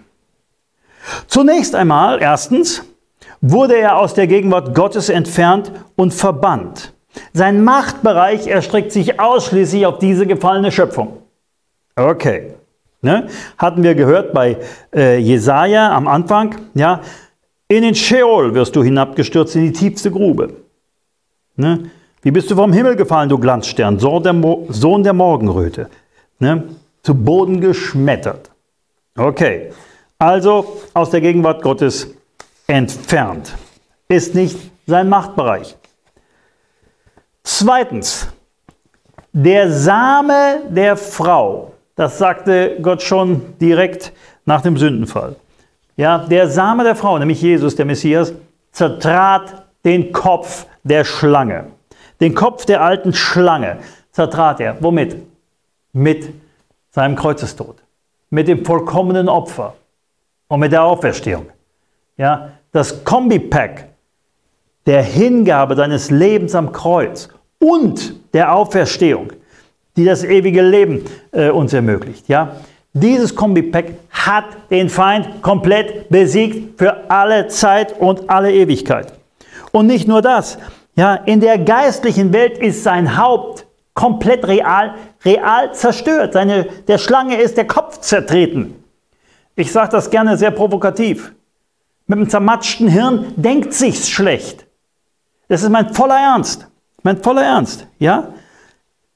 Im Grunde genommen ist sein ganzes Denkvermögen real, wirklich eingedämmt. Seine Wahrnehmung, seine eigene Erkenntnis und so weiter. Und er hat nur diesen Stolz und diese Boshaftigkeit und sich da reingedreht, aber das ist auch alles, was er hat. Ne? Und das kennen wir von 1. Mose 3 ab Vers 14, ja, wo Gott spricht zur Schlange, weil du das getan hast, sollst du verflucht sein unter allem Vieh, unter allen Tieren des Feldes. Auf deinem Bauch sollst du kriechen und Staub fressen, sollst du fressen alle Tage deines Lebens. Und ich werde Feindschaft setzen zwischen dir und der Frau, zwischen deinem Samen und ihrem Samen. Er wird dir den Kopf zermalmen und du, du wirst ihm die Ferse zermalmen. Jesus hat den Feind besiegt und den Kopf der Schlange zermalmt. Ja? Dann, deshalb, oder deshalb ist das Kreuz der absolute Wendepunkt der Geschichte. Ja? Sein fehlerloses Opfer wurde Satans Macht und die Macht des Todes für immer besiegt. Er wurde entwaffnet. Ja? So, und jeder einzelne Mensch, der diesen Sieg Jesu für sich beansprucht und sagt, ich nehme das an, das ist das, was ich für mich haben will. Ich nehme Jesus als meinen Herrn und Retter an. Der kommt raus aus dem Machtbereich des Satans. Halleluja. Das ist wirklich, wirklich gute Nachricht. Ja? Du, der, der Feind verliert seine Position der Autorität. Er kommt in Freiheit. Wer Jesus als Herrn und Retter annimmt, kommt wieder in die eigentliche Absichten Gottes hinein, in ein Leben mit Gott. Ja? Das Kreuz ist die völlige Hingabe des Herrn, ein komplettes Opfer. Und jetzt, durch die Auferstehung, bietet er uns ewiges Leben an und wir dürfen zugreifen. Alles, was du tun musst, ist sagen, ja, ich nehme das für mich an. Ich beanspruche das für mich. Ich will da hineingehen. Ich will Jesus Christus als meinen Herrn und Retter haben und frei werden von diesem elenden Fürsten der Welt, der seine Autorität über mir hat. Und du wirst eine neue Kreatur werden. Jeder, der das für sich beansprucht hat, kommt da hinein. Das heißt, der Feind ist nicht weg, der attackiert dich nach wie vor, aber du bist auf einem völlig anderen Level. Du bist in einer völlig anderen Dimension. Äh, äh, ähm, äh, Ebene. Ja? Du bist jetzt ein Kind Gottes, du bist gerettet und erlöst. Du gehörst zum Leib Christi. Und jetzt wird es wirklich dann spannend. Ne? Kolosser 2, Vers 15, da heißt es, Jesus, er hat die Gewalten und die Mächte völlig entwaffnet und sie öffentlich zur Schau gestellt. In ihm, in Christus, hat er den Triumph über sie gehalten. Hallo? Der Feind, seine Gewalt, seine Macht, es ist entwaffnet, entwaffnet für die Kinder Gottes. Er ist öffentlich bloßgestellt worden. Er ist im Triumphzug vorgeführt worden. Ja? Johannes 16, Vers 11. Der Fürst dieser Welt ist gerichtet. Hebräer 2, Vers 14. Weil nun die Kinder Blutes und Fleisches vollhaftig sind, hat auch er in gleicher Weise daran Anteil gehabt, um durch den Tod den zunichte zu machen, der die Macht des Todes hat, das ist der Teufel. Durch Jesu Tod wurde die Macht des Todes zunichte gemacht. Halleluja. Deshalb hat Jesus gesagt, es ist vollbracht. Es ist vollbracht. Das ist wirklich gut. Kreuz und Auferstehung sind das, was den Feind für immer besiegt hat. Das ist es, was ihn zu immer zum größten Loser gemacht hat. Nicht nur der Zeit, sondern in Ewigkeit, für immer. Und die Leute, die ihm nachfolgen, die Leute, die mit ihm äh, äh, meinen, Geschäfte machen zu können, die ihn akzeptieren als ihren Herrn, sind wirklich bedauernswerte Geschöpfe, sind Gefangene. Sie werden in Ewigkeit nicht gefunden werden. Das ist fürchterlich. Das ist wirklich, wirklich fürchterlich. Und wir bei uns in unserem Dienst, wir haben uns angewöhnt, Teufel, das Wort Teufel immer klein zu schreiben. Meine, Satan oder Luzifer oder sowas auch, aber eben auch Teufel. Und Teufel ist besonders cool. Weil Teufel, wenn du ein kleines T hast, ist ein Kreuz. Erstmal kommt ein Kreuz, ja, was ihn besiegt hat. Und dann hast du das Wort Teufel. Also das finde ich wirklich cool. Das ist eine richtig gute Proklamation. Durch das Kreuz durch das Opfer des Herrn, durch das, was er gemacht hat, sind wir alle frei. Wir sind gerettet von ihm. Ja, Tod, wo ist dein Stachel? Hölle, wo ist dein Sieg? Wir sind frei. Ne? So, und weil das geschehen ist, durch unsere Position, in die der Herr uns hineingenommen hat, als sein Leib, wir sind Glieder an seinem Leib, ne? wenn wir in Christus sind, so haben wir die Position, auch in unserem Leben Satan zu überwinden. Ja? Offenbarung 12, Vers 11. Da heißt es, und sie haben ihn überwunden. Sie haben ihn überwunden. Ja? Wegen des Blutes des Lammes wegen des Wortes ihres Zeugnisses und sie haben ihr Leben nicht geliebt bis zum Tod. Sie haben den Feind überwunden. Wer? Du und ich. Die Überwinder, die Menschen, die einfach sich auf das Blut des Lammes berufen, die ihr Zeugnis weitergeben und die ihr Leben in dieser Welt eben äh, nicht lieben, sondern die den Herrn lieben und ewiges Leben empfangen haben. Ich finde das so grandios. Ich finde das so wunderbar. Der Feind ist besiegt. Das ist wirklich eine gute Nachricht. Er ist der größte Loser aller Zeiten. Gut, noch wirkt er allerdings, aber es kommt der Zeitpunkt, und ich glaube, dass er nicht mehr sehr fern ist, dass er gebunden wird. Ja, es wird Schwierigkeiten geben, es wird gewaltige Umwälzungen geben, es wird Probleme geben. Alles richtig, das sagt die Bibel. Aber es kommt der Zeitpunkt, da wird er gebunden. Da wird er gebunden. Ja, und sein Wirken, sein Tun wird völlig verhindert sein. Und dann lesen wir in der Offenbarung, und zwar in Vers, äh, Kapitel 20, Vers 1 bis 3, dass ein Engel kommt. Der bindet den Satan und wirft ihn, oder der, der wirft ihn in den Abgrund. Es ist ein besiegter Feind. Er wird in dem Abgrund gesperrt. Ja? Ein namenloser Engel. Es ist nicht so, dass Gott kommt oder das macht, sondern ein nicht genannter Engel macht das. Der sperrt den Feind weg. Ne? Offenbarung 20, Vers 1 bis 3. Und ich sah einen Engel aus dem Himmel herabkommen, der den Schlüssel des Abgrundes und eine große Kette in seiner Hand hatte. Und er griff den Drachen, die alte Schlange, die der Teufel und der Satan ist. Also das ist wirklich hier beschrieben, dass es keine Missverständnisse gibt. Ne? Das klar ist, es geht tatsächlich um diesen Typ.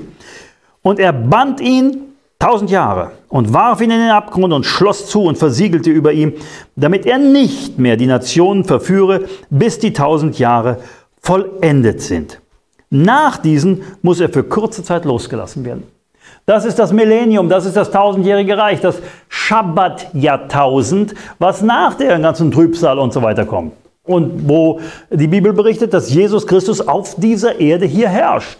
Ja, das ist das, was hier auf dieser Erde noch ist.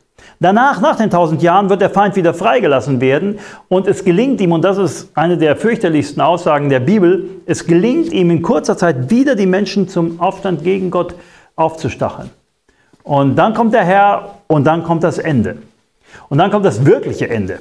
Und dann wird der Feind gerichtet, ja, und ähm, es kommt zum Gericht und letztlich kommt es zu einem neuen Himmel und einer neuen Erde, wie die Bibel uns das berichtet.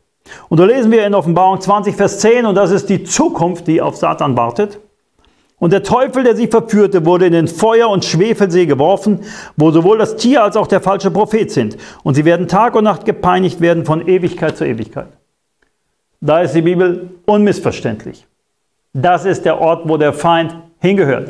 Und seine Absichten, die Absichten des Feindes sind es, möglichst viele Menschen dahin mitzunehmen. Und die Absichten des Herrn sind es, möglichst viele Menschen zu retten. Und das ist auch unser Herzenswunsch. Menschen müssen gerettet werden. Das Evangelium muss verkündigt werden. So wie Reinhard Bonke so schön sagt. Ja, die Hölle plündern und den Himmel bevölkern. Ja, einfach so als, als markiger Spruch, um klarzumachen, es geht darum, das Ding muss leer sein. Und der Himmel, die Menschen gehören in den Himmel. Die Menschen sind nicht für die Verdammnis gemacht. Das ist für den gefallenen Feind, ja, für diesen Cherub, der gefallen ist, der sich überho äh, überhoben hat in seinem Stolz. Wir sind für die Gegenwart des Herrn geschaffen. Und weißt du was? Mal eine ganz, ganz wichtige Aussage. Es gibt nur zwei Möglichkeiten, wo Menschen in der Ewigkeit sein werden. Entweder haben sie die gleiche Zukunft, wie der Feind sie hat, oder sie haben die gleiche Zukunft, wie Gott sie hat. Keine anderen Möglichkeiten. Das sind die beiden Optionen. Und es liegt an dir, wo du diese Ewigkeit verbringen möchtest. Es ist ein Angebot da. Du kannst gerettet werden. Und jeder, der das für sich beansprucht, der will, kann gerettet werden und kann in Ewigkeit beim Herrn sein. Das ist wirklich wunderbar. Und jetzt möchte ich zum Schluss noch mal was sagen, wie wir als Christen, als Kinder Gottes aufgefordert sind, richtig mit Satan umzugehen. Ja? Die Bibel sagt, wir haben ihm gegenüber gerüstet zu sein. Habe ich ja vorgelesen. Ne? Wir haben angetan zu sein mit der Waffenrüstung. Als Schutz und als Waffe von Gott gegeben.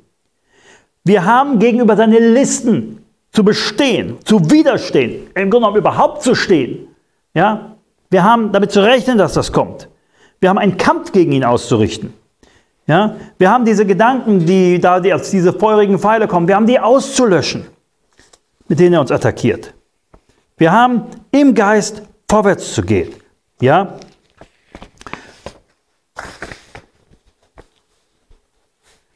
So, und im Grunde genommen kannst du es dir so vorstellen, wenn die Bibel sagt, deine Gedanken sind uns nicht unbekannt, 2. Korinther 2, Vers 11, ja, hatte ich ganz zu Anfang gesagt, dann musst du es dir so ähnlich vorstellen wie ein Feldherr, der die Pläne des gegnerischen Feldherrs kennt. Ja, er weiß, wie die Absichten des feindlichen Feldherrs sind. Er weiß, was der plant. Und das sind genau diese Sachen, über die wir gesprochen haben. Und er weiß, wie er dagegen agiert ist, agieren muss. Ne? Und deshalb sollen wir tatsächlich Satan in unserem ganzen Leben keine Möglichkeit geben, dass seine bösen Machenschaften sich irgendwie entfalten können. Ja, weder in dir persönlich, noch in der Ehe, noch in der Familie, noch in der Gemeinde. Der Raum, den wir haben, muss vom Heiligen Geist ausgefüllt werden und nicht von irgendwelchen dämonischen Denkstrukturen oder sonst was oder gar dämonischen Kräften. Wir sind sein Tempel, der Tempel des Heiligen Geistes. Und so lesen wir in Epheser 4, Vers 27, gebt dem Teufel keinen Raum. Gebt dem Teufel keinen Raum. Nicht durch Betrügereien, nicht durch Lügen, nicht durch kleine Schweinereien, nicht durch ein bisschen Pornografie, nicht durch dies, nicht durch das, was man da wegdrückt, was keiner weiß. Gib dem Teufel keinen Raum. Wir haben ihm zu widerstehen. Wir haben deinen Versuchungen zu widerstehen. Wir haben dieser Anklage zu widerstehen. Wir haben deinen Machenschaften zu widerstehen. Das ist keine Empfehlung. Das ist eine Anordnung. Das ist unsere Pflicht. Ja? Wir dürfen uns nicht dem Feind unterwerfen, sondern wir müssen uns Gott unterwerfen. Jakobus 4, Vers 7. Unterwerft euch nun Gott. Widersteht aber dem Teufel. Und er wird von euch fliehen. Widersteht dem Teufel und er wird von euch fliehen. Weißt du was? Das ist eine Job Description. Job Description. Wir haben einen Job, der Teufel hat einen Job. Wir haben den Job, widersteht ihm. Er hat den Job zu fliehen. Finde ich gut. Weißt du was? Wenn du widerstehst, flieht er. Wenn du nicht widerstehst, kommt es dazu, dass du irgendwann mit ihm läufst. Und das ist nicht lustig. Die Bibel sagt, wir müssen widerstehen. Wir haben zu widerstehen. Unser Job ist zu widerstehen. Und die Verheißung ist, er wird fliehen. Das ist etwas, was jeder Christ erlebt in seinem Leben. Widersteht dem Teufel. Widersteht dem Teufel. Dann gibt es natürlich diese sehr bekannte Bibelstelle mit dem brüllenden Löwen. Ne? 1. Petrus 5, Vers 8 bis 9. Seid nüchtern, wacht. Euer Widersacher der Teufel geht umher wie ein brüllender Löwe und sucht, wen er verschlingen kann. Dem widersteht. Standhaft. Durch den Glauben. Da ihr wisst, dass dieselben Leiden sich an eurer Bruderschaft in der Welt vollziehen. Das ist doch wirklich kernig hier. Ja? Der Widersacher, der Teufel, geht umher wie ein brüllender Löwe. Nicht als brüllender Löwe, sondern wie ein brüllender Löwe der hat sich wieder verkleidet. Der hat sich wieder verkleidet, wie mit dem Engel des Lichts. Er hat sich verkleidet. Ja? Und er sucht. Sucht, das heißt, er muss suchen. Er kann nicht einfach willkürlich irgendwie, sondern er muss suchen, wen kann ich denn hier verschlingen? Wer fällt denn auf mein Gebrülle rein? Wen kann ich verschlingen? Er sucht, wen er verschlingen kann. Also wie ein brüllender Löwe, guckt da, wo fällt jemand auf ihn rein? Und das soll nicht un unser Fall sein. Deshalb sagt die Bibel, dem widersteht standhaft durch den Glauben. Ja? Cool, seid nüchtern, wacht, widersteht. Er muss fliehen. Und selbst wenn er sich da irgendwie so gebärdet wie ein brüllender Löwe, kein Problem. Wenn du stehst, wird er dich nicht verschlingen können. Wenn du natürlich dich beeinflussen lässt von dem Getue, dann wird es anders, dann wird es schwierig. Ja? Aber das Schöne ist, du kannst jederzeit anfangen zu widerstehen. Selbst wenn du deinen Schlichen auf den Leim gegangen bist, kannst du heute eine Entscheidung treffen und sagen, nein, ab jetzt nehme ich Position ein, wie die Bibel es sagt. Ich widerstehe, er wird fliehen. Wird vielleicht ein bisschen dauern, aber er wird fliehen. Er wird aus meinem Leben verschwinden. Ja.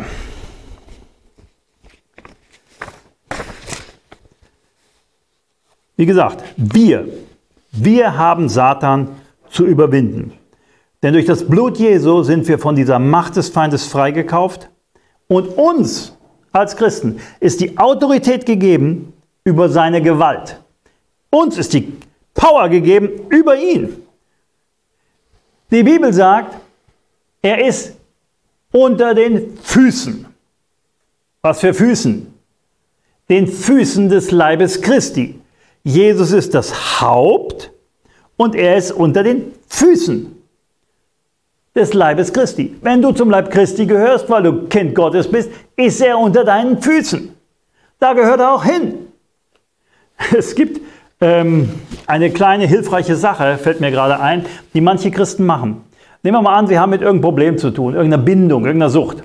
Ja, um sich das bewusst zu machen, dann nehmen sie ihre Schuhsohlen und schreiben ihr Problem einfach drauf. Ja, und dann laufen sie drauf und sagen jedes Jahr, bei jedem Schritt, es ist unter meinen Füßen. Es ist unter meinen Füßen. Ich werde frei werden. Es ist unter meinen Füßen. Der Feind ist unter meinen Füßen. Egal was gegen mich steht, es ist unter meinen Füßen. Und da bleibt es auch. Ja, es ist unter meinen Füßen. Und ich werde es nicht hochkommen lassen. Gottes unvorstellbare Kraft ist uns gegeben. Der Epheserbrief ist da so gigantisch, weil er davon spricht, welche Power, welche Autorität, welche Möglichkeiten wir haben als Kinder Gottes. Ja, was es heißt, neugeboren zu sein, was es heißt, ein Tempel des Heiligen Geistes zu sein, was es heißt, dass der Herr in dir lebt. Die Hoffnung der Herrlichkeit Christus in dir. Was das bedeutet, ja, der Feind macht da sein Getue, aber du musst wissen, wer du bist, wer deine, was da für eine Identität du hast, ja, was du für eine Position hast. Du musst wissen, wie du in der geistlichen Welt dastehst. Ein gigantischer Kämpfer, mächtig bewaffnet und der Feind versucht dich mit seinem blöden Getue einzulullen und weil er raffiniert ist, äh, hast du vielleicht alle Waffen von dir gestreckt und bist da und guckst nach unten und hast dich von seinem Getue beeinflussen lassen, bist niedergeschlagen, obwohl es gar keinen Grund dazu gibt, nur weil du den Einflüsterungen des Feindes zugehört hast. Nur weil du diese feurigen Pfeile zugelassen hast und die haben angefangen zu brennen und die haben angefangen, ihr Gift zu, äh, äh, auszubreiten. Hier so Giftpfeile und irgendwann wurde das dann immer mehr zersetzt. Hey, heute kannst du eine Entscheidung treffen und sagen, Schluss damit. Ich werde nicht mehr länger den Machenschaften des Feindes auf den Leim geben. Ich glaube seinen Einflüsterungen nicht mehr. Ich glaube auch seinem, äh, äh, dem, was er mit den Pfeilen macht, nicht mehr. Weg damit. Ja, ich ziehe diesen Helm des Heils auf und ich lasse mich nicht mehr von ihm und seinen negativen Einflüsterungen hier äh, berauben. Epheser 1, Vers 19 bis 22 lese ich dir vor. Was die überragende Größe seiner Kraft, also Gottes Kraft, an uns ist, den Glaubenden, nach der Wirksamkeit der Macht seiner Stärke. Wow. Ja, überragende Größe seiner Kraft nach der Wirksamkeit, der Macht seiner Stärke. Ey, das ist ein Superlativ nach dem anderen, ja? Und die ist an uns wirksam. Ne? Die hat er in Christus wirksam werden lassen, indem er ihn von den Toten auferweckt hat und zu seiner Rechten in der Himmelswelt gesetzt hat, hoch über jede Gewalt und Macht und Kraft und Herrschaft und jeden Namen, der nicht nur in diesem Zeitalter, sondern auch in dem zukünftigen genannt werden wird. Und alles, alles, alles hat er seinen Füßen unterworfen und ihm zum, als Haupt über alles der Gemeinde gegeben. Die Gemeinde ist der Leib Christi. Er ist das Haupt. Wir sind die Glieder. Und der Feind ist unter den Füßen. Ganz, ganz unten. Und er ist kein ebenbürtiger Gegner, sondern er ist unter den Füßen. Das sollten wir wissen. Ja? In Christus sind wir in seine Herrschaftsposition im gewissen Sinne mit hineingenommen. Ja? Die Bibel sagt sogar in Epheser 2, Vers 6, dass er uns mit auferweckt hat, mitsitzen hat lassen in der Himmelswelt, in Christus. Das ist eigentlich unsere Position. Das ist eigentlich unsere Identität. Das ist eigentlich das, wer wir sind und wie die geistliche Welt uns sieht. Und so viele Christen leben von den miesen Machenschaften des Feindes überwältigt, äh, weil sie ihm geglaubt haben und kommen so schwer in die Position, die der Herr für sie hat. Das muss sich ändern. Das muss sich ändern. Wir müssen die Power, die der Herr uns gegeben hat und anvertraut hat, nutzen, um den Feind in seine Schranken zu weisen. Ja, wir müssen ihn nutzen, das Reich Gottes voranzutreiben. Wenn wir das nicht tun, dann nutzen wir nicht das, was Gott uns gegeben hat und was er uns anvertraut hat. Ja, dann lassen wir zu, dass das Reich des Feindes einfach immer weiter äh, sich ausbreitet oder sowas. Ja, das dürfen wir nicht. Ja, denk mal an das Gleichnis von den anvertrauten Pfunden. Wir haben einen Job zu tun. Wir haben einen Job zu tun. Lukas 10, Vers 19 sagt Jesus, siehe, ich habe euch die Macht gegeben, auf Schlangen und Skorpione zu treten und über die ganze Kraft des Feindes. Und nichts soll euch schaden. Ehe die Nachfolger Christi, die Jünger Christi haben Macht über die ganze Kraft des Feindes. Die ganze Kraft des Feindes. Er ist unter deinen Füßen und da soll er bleiben, da gehört er hin. Und wenn er irgendwo in einer anderen Position ist, dann ist das nicht das, was Gott für dich hat. Ja? Wir haben in unserem Leben mit der Hilfe des Herrn Satan zu überwinden, denn Jesus lebt in dir und er ist der Sieger, er ist der Überwinder. Ja? 1. Johannes 4, Vers 4. Ihr seid aus Gott Kinder und habt sie überwunden, weil der, welcher in euch ist, größer ist als der, welcher in der Welt ist. Christus in dir ist größer als das, was diese Welt zu bieten hat. Christus in dir ist größer als der Feind. Ja?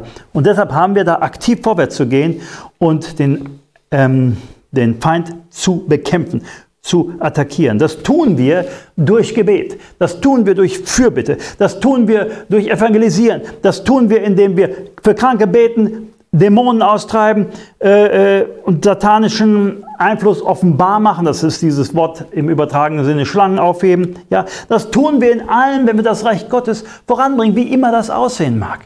Das tun wir, wenn wir einfach mit dem Herrn vorwärts gehen, was auch immer das sein mag. Ja, das sind die Dinge, die der Herr möchte, dass wir tun.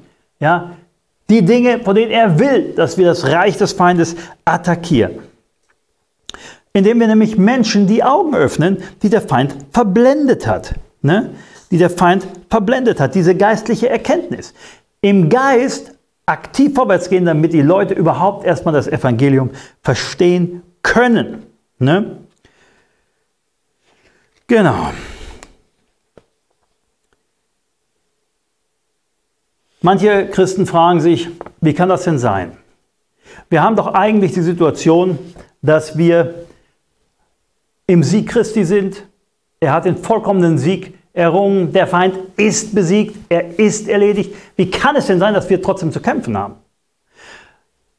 Äh, ein kleines Bild, was vielleicht dazu hilfreich sein kann, ist ein Fußballspiel. Stell dir vor, so ein Fußballspiel läuft. Und irgendwann durch einen riesigen Vorsprung ist klar, okay, die Mannschaft hat verloren und die eine hat gewonnen. Der Sieg ist errungen. Und trotzdem läuft das Spiel noch weiter. Der Sieg ist da, ist auch nicht mehr wegzunehmen. Der Sieg ist komplett da, aber das Spiel läuft noch weiter. Und die Spieler müssen trotzdem noch ihr Spiel machen. Sie müssen trotzdem noch das tun, wozu sie eingesetzt sind. Die gegnerische Mannschaft, die weiß, dass sie verloren hat, hat alle Hemmungen verloren. Ist unvorstellbar brutal. Fouls ohne Ende, Gemeinheiten ohne Ende, Beschimpfungen ohne Ende. Und sie attackieren und attackieren und attackieren, obwohl das Spiel verloren ist für sie. Sie hören nicht auf zu spielen, das Spiel muss ablaufen. Und die anderen, die wissen, dass sie gewonnen haben, müssen trotzdem damit umgehen mit diesen Attacken des Feindes. Ist nur ein kleines Bild. Vielleicht hilft es dir zu verstehen, wie das Ganze läuft. Du und ich, wir sind noch im Spiel. Und der Feind ist auch noch im Spiel. Und auch wenn er besiegt ist, ist er noch aktiv. Und auch wenn wir Sieger sind in Christus, müssen wir noch aktiv sein. Und ich möchte dir ganz, ganz zum Schluss hier noch ein Buch vorstellen, was dir helfen kann, in dieser Situation. Und zwar ist das kein Buch, was sich überhaupt mit dem Teufel oder irgendwas beschäftigt. Es ist ein Buch, wo ich den Eindruck habe, ich soll das vorstellen. Das heißt Neues Leben, neue Identität. Das ist ein Buch, was dir zeigt, welche Identität du in Christus hast. Wer du überhaupt bist in der geistlichen Dimension was es heißt, wiedergeboren zu sein, was es heißt, Tempel des Heiligen Geistes zu sein. Und das ist ein Buch von Dr. Neil Anderson, grandios. Das hat schon so, so vielen Menschen geholfen, ein Verständnis zu führen, wie man ein siegreiches Leben führen kann, weil man weiß, wer man ist. Das ist eine Machenschaft des Feindes, dass wir überhaupt nicht wissen, wer wir sind. Weißt du, vielleicht hast du, kennst du Leute, die sagen, oh, ich bin nur ein armer Sünderwurm oder irgendwie sowas Verrücktes. Das ist nicht das, was die Bibel sagt. Ne? Und dieses Buch Neues Leben, neue Identität gibt es hier als Buch bei uns im Shop, wenn du das möchtest, für 13,95 und auch als Hörbuch, kostet sogar nur 12,95. Und ähm, ja, es ist grandios. Ähm, hat mein Leben sehr, sehr reich beschenkt. Also wenn du einfach da weiterkommen willst, lade ich dich ein, dir das bei uns gerne im Shop zu bestellen. Auch als Hörbuch, ganz coole Sache für wenn du im Auto unterwegs bist oder sowas. Das kann dein Leben verändern. Wenn du das, dich mit der Wahrheit des Wortes Gottes beschäftigst und weißt, wer bin ich denn wirklich in Christus. Und dann hast du ein Verständnis dafür, wer der Feind bist, wer der Feind ist, wer du bist, wo er sich befindet und dass du siegreich in diesem Leben vorwärts gehen kannst und ihn in die Schranken weisen kannst. Amen.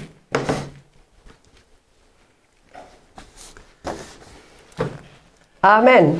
Was für ein Plädoyer am Schluss. Und ähm, was für eine besiegter Feind. Beschreibung des besiegten Feindes. Amen. Ähm, hey, hier, ehrlich, ich hasse den Typ. Das ist so erbärmlich. Ja. Ähm, ich habe so ein bisschen im Chat geguckt und ähm, habe gesehen, äh, jemand hat geschrieben, warum wird hier der Feind so groß gemacht? Äh, ich habe gedacht, ja, das ist so, ähm, manche Leute äh, möchten nicht so gerne über den Feind sprechen, obwohl sie ständig von ihm angegriffen und attackiert werden. Ähm, schau, aber ich habe überlegt. Jemand, da hat jemand was nicht verstanden. Ja, das war ja auch ziemlich am Anfang. Ähm, aber ich habe überlegt, äh, schau, wir müssen unseren Feind besser kennen. Denn dann wissen wir, wie er die Attacken fährt und wie er in unser Leben eingreifen möchte und wie er immer dieses äh, Stück Land, was Gott uns zugewiesen hat, wie er das immer Zentimeter für Zentimeter sich wieder erobern möchte. Wie er Zentimeter für Zentimeter dir deine Gesundheit wegnimmt. Und wenn du äh, dann äh, sagst, ähm, ja, bei mir wird es immer schlimmer. Ja, also liebe Leute, wir haben schon mal gesagt, bitte pass auf, was du über dir aussprichst. Pass auf, welche Worte du gebrauchst. Ähm, ich weiß um die Herausforderung, wenn Krankheit da ist und wenn wir beten und es passiert nicht, so schnell oder es passiert nicht dieses Jahr oder nächstes Jahr. Manche Leute sind wirklich schon sehr lange krank, ich weiß das. Und die Gebetsanliegen, die sprechen für sich. Und ähm, deswegen möchte ich sagen, egal wie es ist, inmitten der Umstände halten wir an Gott fest. Wir halten sein Wort fest. Wir halten das Vertrauen auf ihn fest. Und wir gehen mit ihm durch diese Dinge weiter und weiter. Ich weiß, dass Schmerzen eine große Herausforderung sind. Ich weiß, wenn unsere Kinder ähm, auf Wegen sind, die uns nicht gefallen, das ist für Eltern eine große Herausforderung. Aber sollten wir deshalb aufhören zu beten? Sollten wir deshalb aufhören zu glauben? Sollten wir deshalb alles äh, niederlegen und äh, sagen, ja, dann, dann kann man ja eben nichts machen. Ne? Nein, wir von Gottes Haus, wir sagen immer, Gott hat mehr für uns. Das, was wir jetzt haben, ist nicht das Ende. Wenn heute die Dinge noch nicht gelöst sind, morgen können sie schon anders werden. Schau dir Zeugnisse an über Heilungen, über Wiederherstellung, wo Menschen frei geworden sind. Zeugnisse haben Kraft. Und sie bauen unseren Glauben auf. Schau, dieses Körbchen hier, das ist etwas, was mich zutiefst bewegt, weil darin, hierin siehst du die Attacken des Feindes. Und ich erwarte, dass Gottes Versorgung, seine Größe, sein Eingreifen, seine Bewahrung groß und mächtig werden in eurem Leben. Für die Leute, die ganz äh, noch ziemlich neu mit dazugekommen sind, möchte ich ganz kurz nochmal diese Geschichte mit diesem, oder nein, ist keine Geschichte, ähm, dieses Erlebnis, was ich hatte mit diesem Körbchen und den Gebetsanliegen, das möchte ich nochmal euch ganz kurz nahe bringen. Und wir werden dann für die Gebetsanliegen auch beten. Diesen kleinen Zettel, den habe ich bei mir genau da bei dem ersten Mose, nee, bei 2. Mose 1 drin liegen, denn das hatte ich aufgeschrieben. Das war dieses Wort, was der Heilige Geist zu mir gesprochen hatte. Ich hatte die Gebetsanliegen, ähm, die schon über Wochen reingekommen waren, die hatte ich eigentlich jetzt aussortieren wollen. Ich wollte sie weglegen, damit die neuen, die reinkommen, wieder Platz haben. Und ich habe nochmal alle diese Anliegen durchgeguckt, ich habe sie durchgelesen und ich habe gesagt, Herr, das geht doch gar nicht. Das ist so eine ähm, Macht des Feindes im Leben dieser Menschen, deinem Volk, deiner Kinder. Ich kann diese Anliegen nicht einfach wegräumen. Ich kann nicht einfach so tun, als wäre das jetzt erledigt. Und ähm, dann hat der Herr zu mir gesagt, bewahre sie, bis ich mein Werk vollendet habe und tu sie in das Körbchen. Und ich dachte, in welches Körbchen?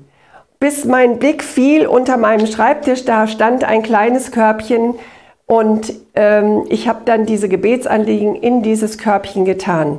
Und als ich sie reingeräumt habe, da wurde ich an diese Stelle erinnert, in 2. Mose 1. Lass uns das kurz nochmal ins Gedächtnis zurückrufen.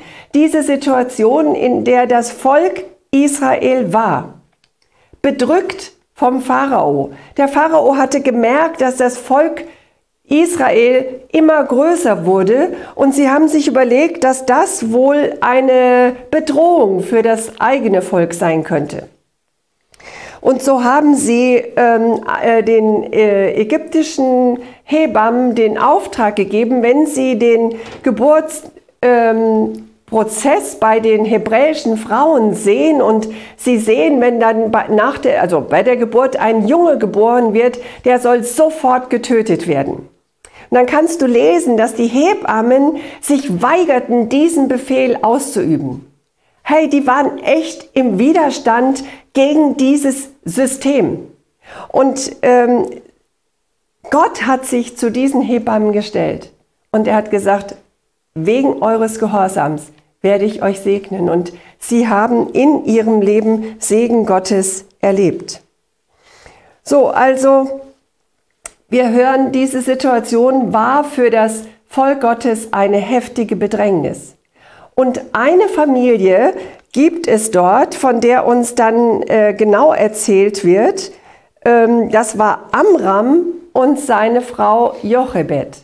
Sie hatten schon zwei Kinder, nämlich einen Sohn, Aaron, und eine Tochter, Miriam. Und jetzt wird in diese krassen Umstände mit dieser Anordnung der Obrigkeit die sagt, wenn ein Junge geboren wird, er muss ab jetzt umgebracht werden. In diese krasse Situation wird ein kleiner Junge geboren. Und Jochebed, die Mutter, verbirgt dieses Kind. Drei Monate lang. Und dann heißt es, sie kann es nicht mehr verbergen. Und dann macht sie was ganz Außergewöhnliches. Und manchmal denke ich, hey, warum hat die Frau das gemacht? Sie hat ein Körbchen genommen und hat das mit Asphalt und Pech ausgestrichen Und da rein hat sie ihr kleines, drei Monate altes Baby reingelegt und hat es auf den Nil, auf dieses Nilwasser gesetzt.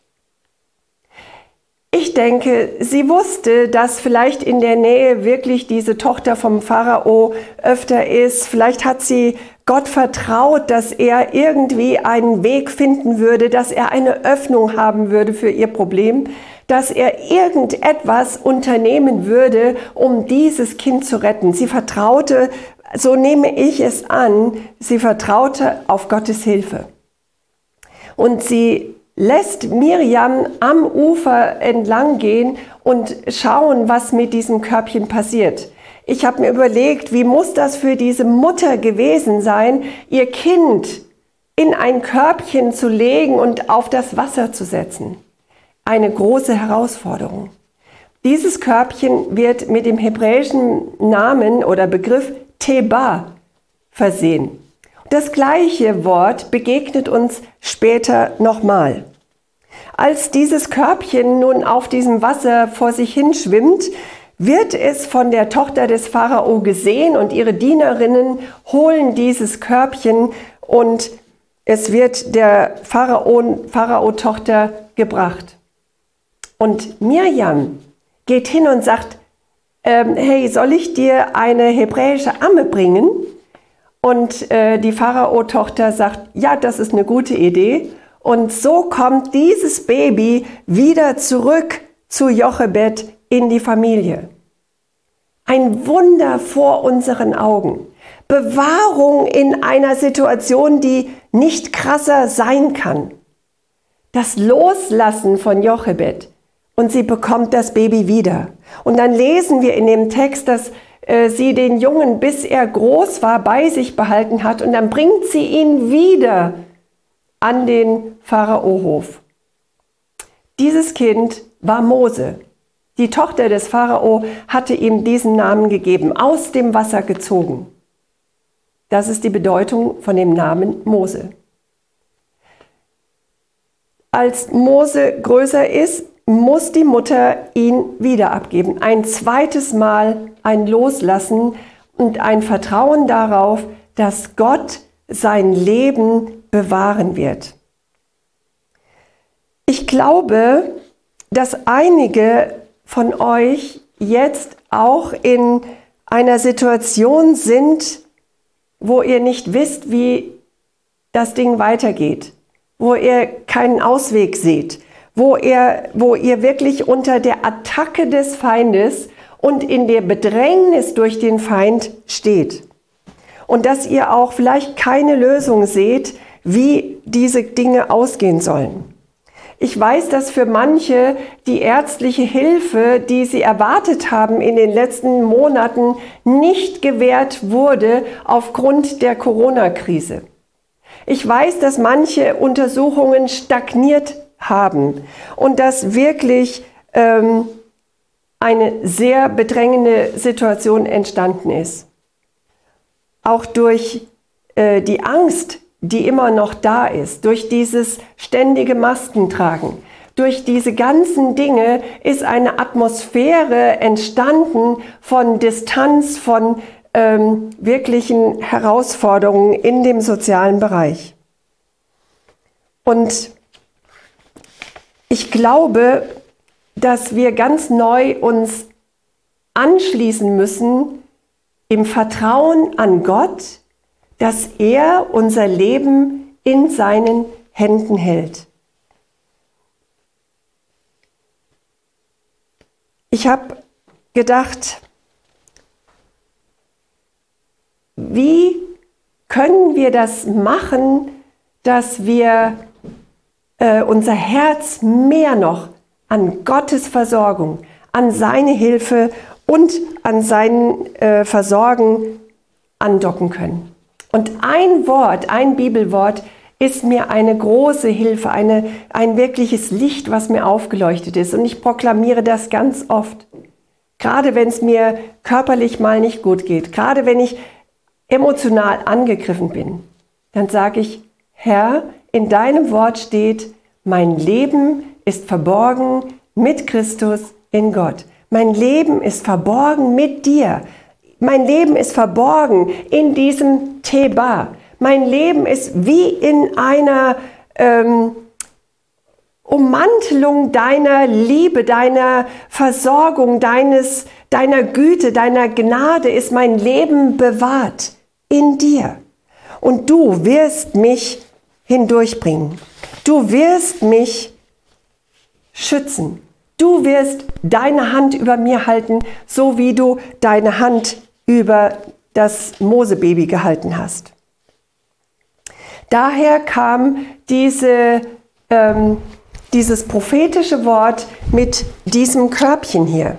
Ich habe dann, ich habe auch in das Körbchen so wie eine Windel reingelegt, um zu sagen, dieses kindliche Vertrauen, dieses, diese Hilflosigkeit auch, das ist etwas, worüber der Herr sich erbarmen wird.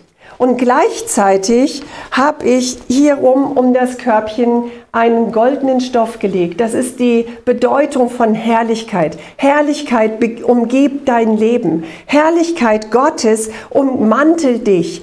Herrlichkeit Gottes ist über dir ausgerufen. Herrlichkeit Gottes wird den Unterschied in deinem Leben machen. Ja, da sind Nöte. Ja, da ist Krankheit. Ja, da sind die Dinge mit den Kindern noch nicht gelöst. Das sind Menschen, die auf Abwägen sind und wir gucken fast zu, wie sie weiter in äh, schwierige Dinge sich reinbewegen. Das sind Jobverluste, das sind äh, Finanzverluste. Alles dieses greift nach unserem Leben und trotzdem, trotzdem ist unser Leben verborgen mit Christus in Gott. Das Leben verborgen mit Christus, das ist Herrlichkeit Gottes. Das ist Gnade Gottes. Das ist Versorgung Gottes. Das zweite, wo dieses Wort Teba vorkommt, das ist in, ähm, der, in dem Bericht über die Arche Noah, als Noah die Arche baut.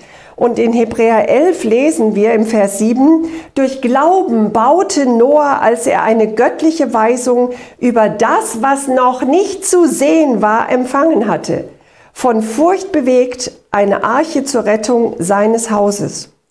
Durch ihn verurteilte er die Welt und wurde Erbe der Gerechtigkeit, die nach dem Glauben ist. Noah hatte einen Blick auf diese übernatürlichen Möglichkeiten Gottes. Er hatte einen Glauben an Gott. Er hatte ein Wort von Gott gehört und empfangen und in dem lief er, ich würde fast sagen, in dem lief er wie ein Uhrwerk. Guck mal, Noah musste eine ständige, äh, ein ständiges Fragezeichen für seine Nachbarn gewesen sein. Die müssen gesagt haben, der spinnt.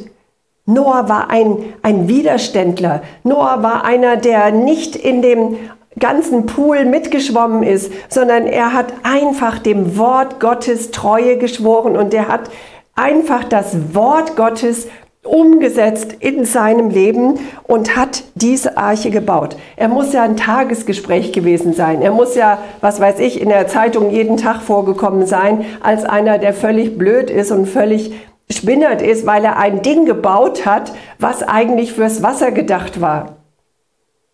Eigentlich ein Widerständler, zu blöd, sich an die Vorgaben zu halten, zu dumm, um bei der Welt mitzumachen, bis der Regen kam. Bis der Regen kam. Da erfüllte sich das Wort, das Gott Noah gegeben hatte. Da erfüllte sich das, dass Gott gesagt hat, bau eine Arche.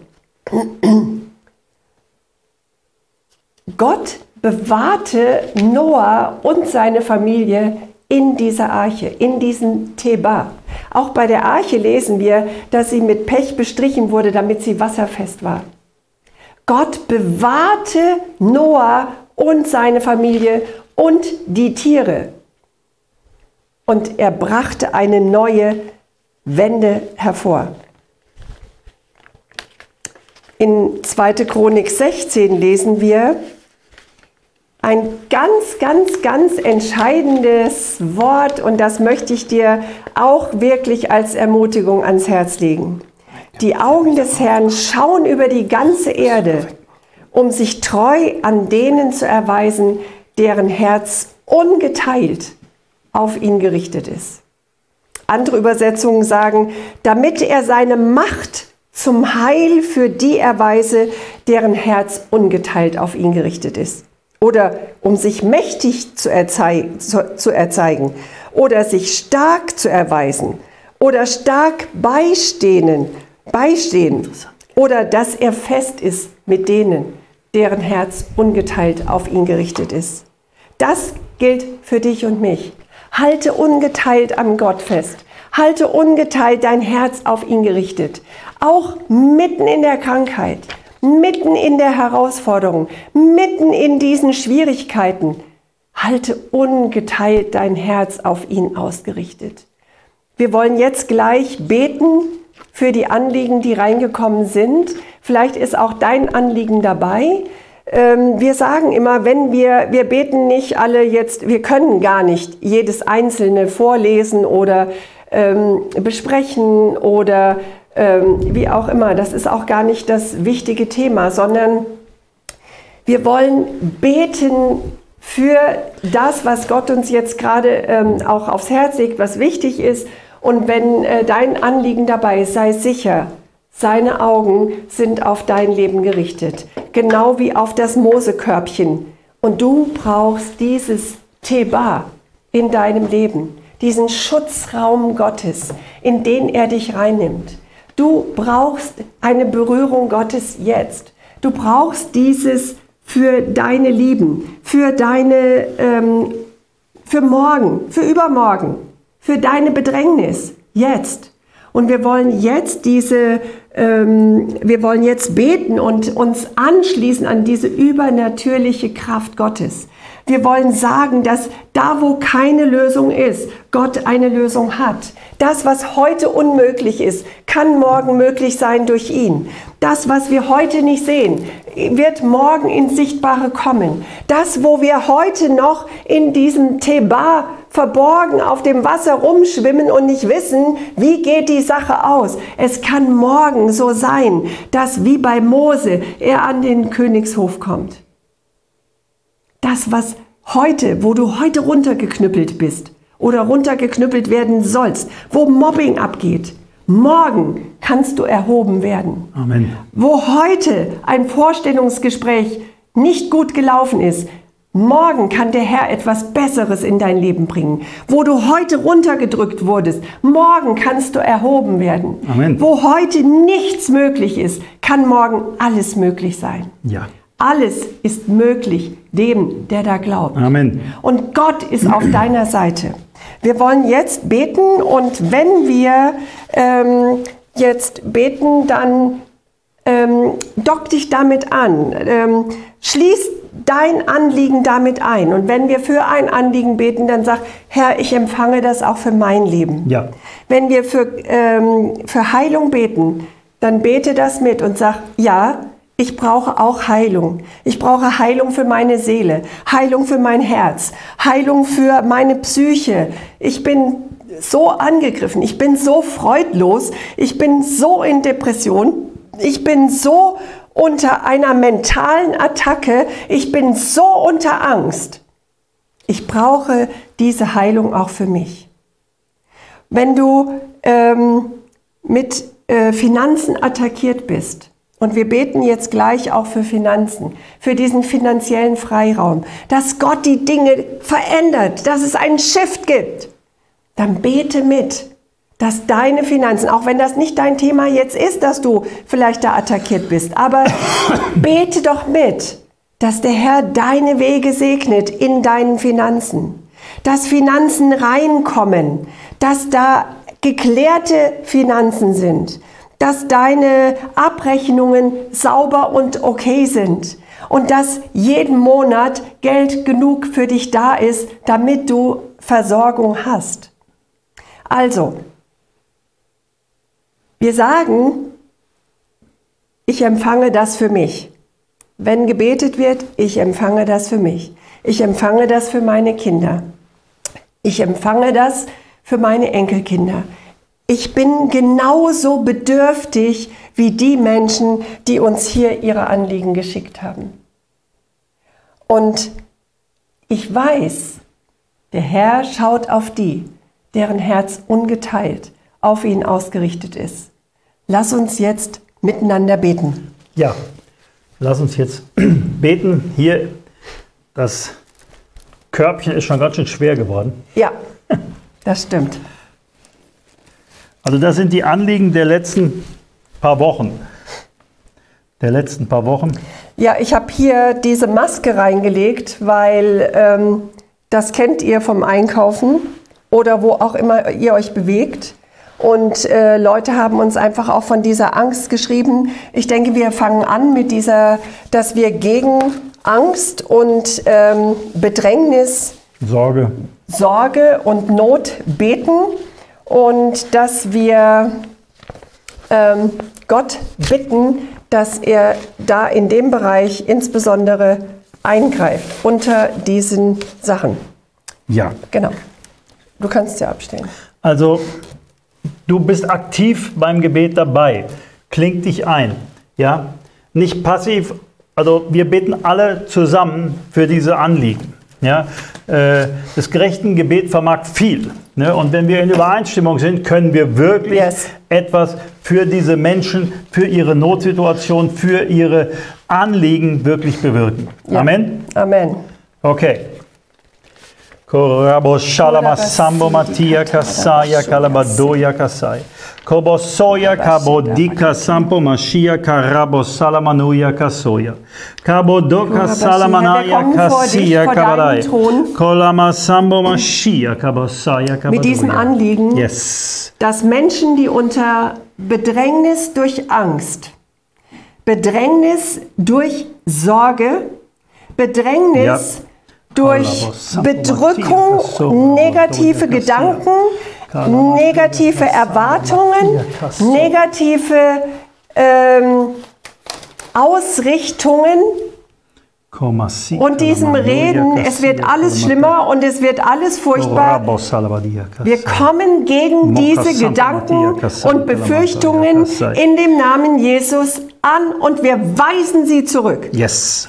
Wir sagen, sie haben keinen Raum in unserem Leben und in unserem Denken. Sie haben kein Existenzrecht und wir räumen ihnen das auch nicht ein in unserem Leben. Wir reißen jede Wurzel, die Angst ge äh, ja. gebildet hat. Wir reißen sie jetzt Im Namen raus. Jesus. Yes. Sei wir reißen sie raus aus unserem Leben. Ja.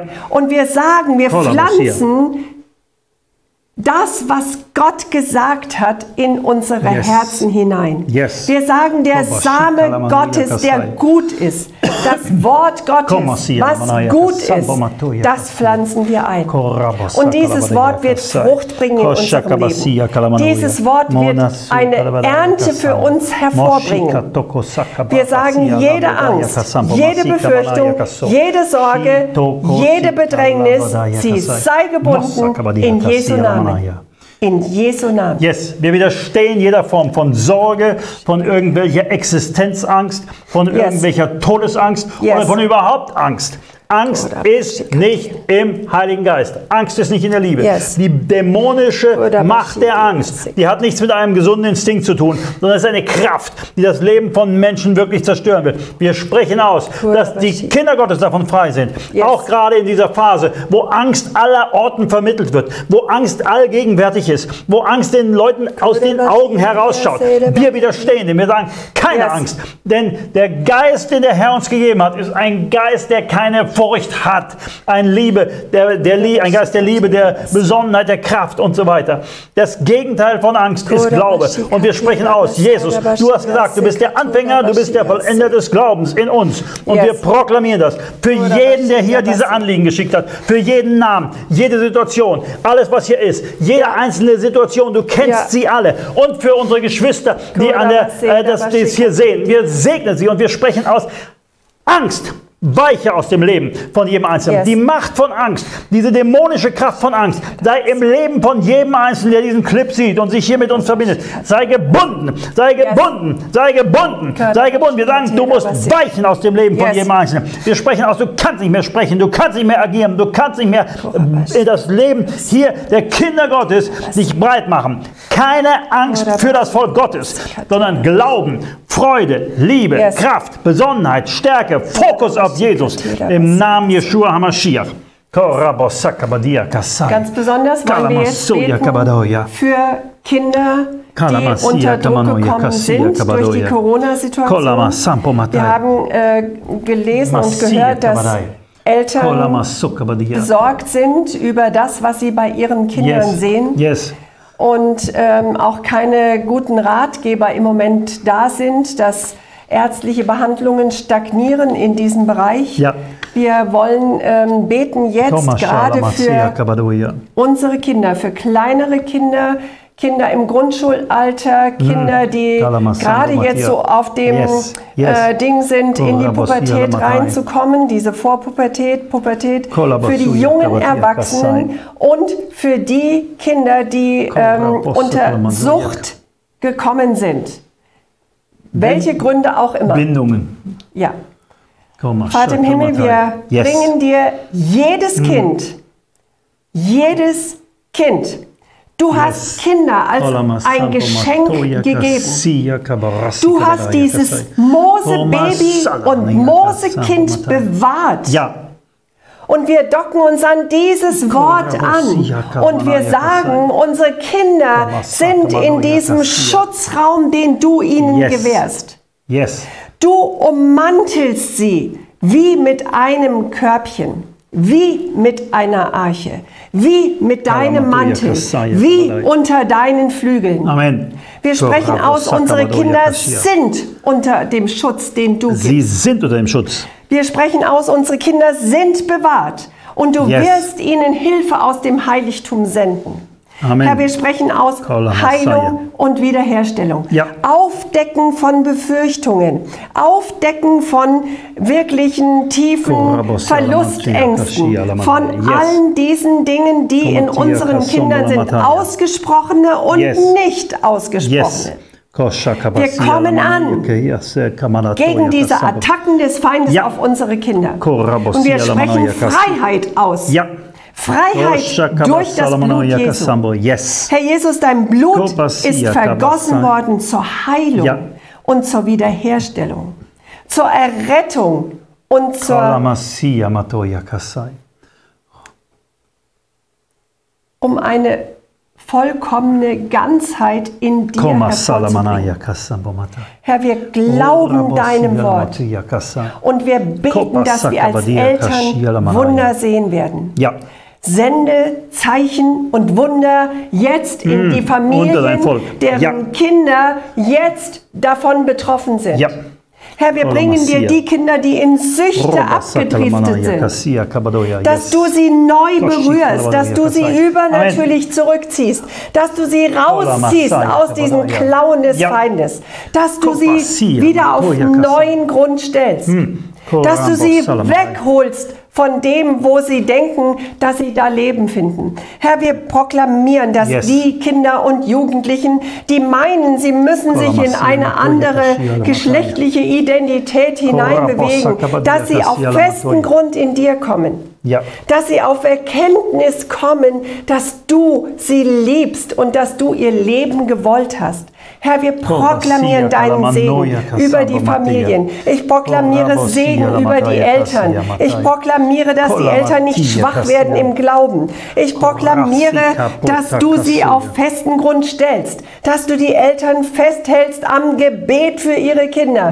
Am Glauben für ihre Kinder. Amen. Dass sie wirklich geschützt sind von dir in Jesu Namen. Yes. Yes. Herr, wir proklamieren wirklich für jeden einzelnen Namen, für jeden einzelnen Kind, yes. für jede einzelne Situation, ja. was hier auch immer genannt ist. So viele Nöte mit Kindern, so viele yes. Situationen, wo Kinder in Schwierigkeiten sind, so viele falsche Ratgeber, so viele Kinder, die in Computer äh, irgendwelchen Dreck reinkommen, in Computersucht oder jetzt schon als Kind in yes. Pornografie oder solche Dinge. So viele Dinge, die nach ihrem Herzen greifen. Wir sprechen aus, die Kinder der Gerechten werden das Land erben. Das heißt, sie werden erhoben werden, sie werden den Herrn finden. Wir sprechen aus, dass sie gerettet werden, dass sie bekehrt werden, dass die Hand des Herrn auf jedem einzelnen Kind ist. Und wenn du Eltern, äh, also Kinder hast, wenn du, wenn du jemand bist, der selbst Kinder hat, ich spreche zu im Namen Yeshua Mashiach, yes. dass deine Kinder gerettet werden, Amen. dass sie den Herrn finden. Und du nimmst es und sagst, ja. jawohl, meine Kinder werden dem Herrn dienen. Ja, wie Josua gesagt hat, ich aber und mein Haus, wir werden dem ja. Herrn dienen. Wir sprechen es aus. Nimm es aktiv im Glauben. Und yes. das Gleiche spreche ich auch aus für ans allgemein. Verwandte, äh, deine Geschwister, deine Eltern, ja, alle Menschen, die da um dich herum sind, die Menschen, die dir lieb sind. Es gilt nicht nur für die Kids, es gilt für alle. Ja. Und wir sprechen aus, dass dort ebenso ein Eingreifen des Herrn reinkommt und dass Menschen gerettet werden. Du betest vielleicht schon lange für irgendwelche Leute, vielleicht ja. für deine Eltern, dein Vater. Da ist jemand, ja. der betet seit Jahren, Jahren und die Zeit läuft ab. Ich sage dir, der Herr hat dein gehört. Er wird hat dein Gebet erhört, sich bekehrt, wir sprechen aus. Ja. Halt an der Heute fest an die einfach geraubt werden. Und ja, das Amen. proklamiere ich, das beten wir für alle, die dir am Herzen liegen und für alle, für die du gebetet hast. Die Gebete sind erhört worden. Denk an das, was da mit, mit, mit Daniel war. Das Gebet ist von Anfang an erhört worden. Und auch wenn da Sachen dazwischen gekommen sind, im Namen Jesus. Christus, wir sprechen aus, dass es durchbricht. Dass diese Leute, für die du schon so lange einstehst, gerettet werden für Zeit und Ewigkeit. Yes. Amen. Amen. Komm, wir beten jetzt für die Leute, die um ihren Arbeitsplatz bangen. Yes wir wollen beten für die Menschen, die ähm, ihren Arbeitsplatz verloren haben ja. aufgrund der Corona-Krise. Oder auch so verloren und, haben. Oder auch wegen anderen Gründen. Wir beten für die Menschen, die einen neuen Arbeitsplatz suchen und dringend brauchen. Dringend brauchen.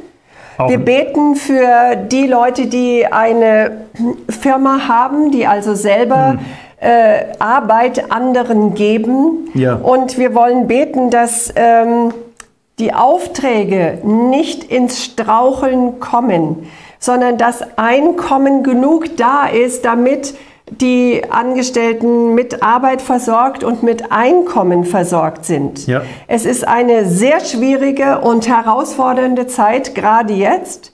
Und wir proklamieren den Sieg Jesu in diese Arbeitswelt. Lass uns auch noch die Leute reinnehmen, also die jungen Menschen, die einen Ausbildungsplatz suchen. Ja, das stimmt. Das ist auch eine Riesennot jetzt. Die sind mit der Schule fertig oder ja. auch mit dem Studium fertig und jetzt ja, stehen genau. sie im Grunde genommen vor nichts, weil fast nirgendwo Ausbildungsplätze ja. oder Arbeitsplätze angeboten werden.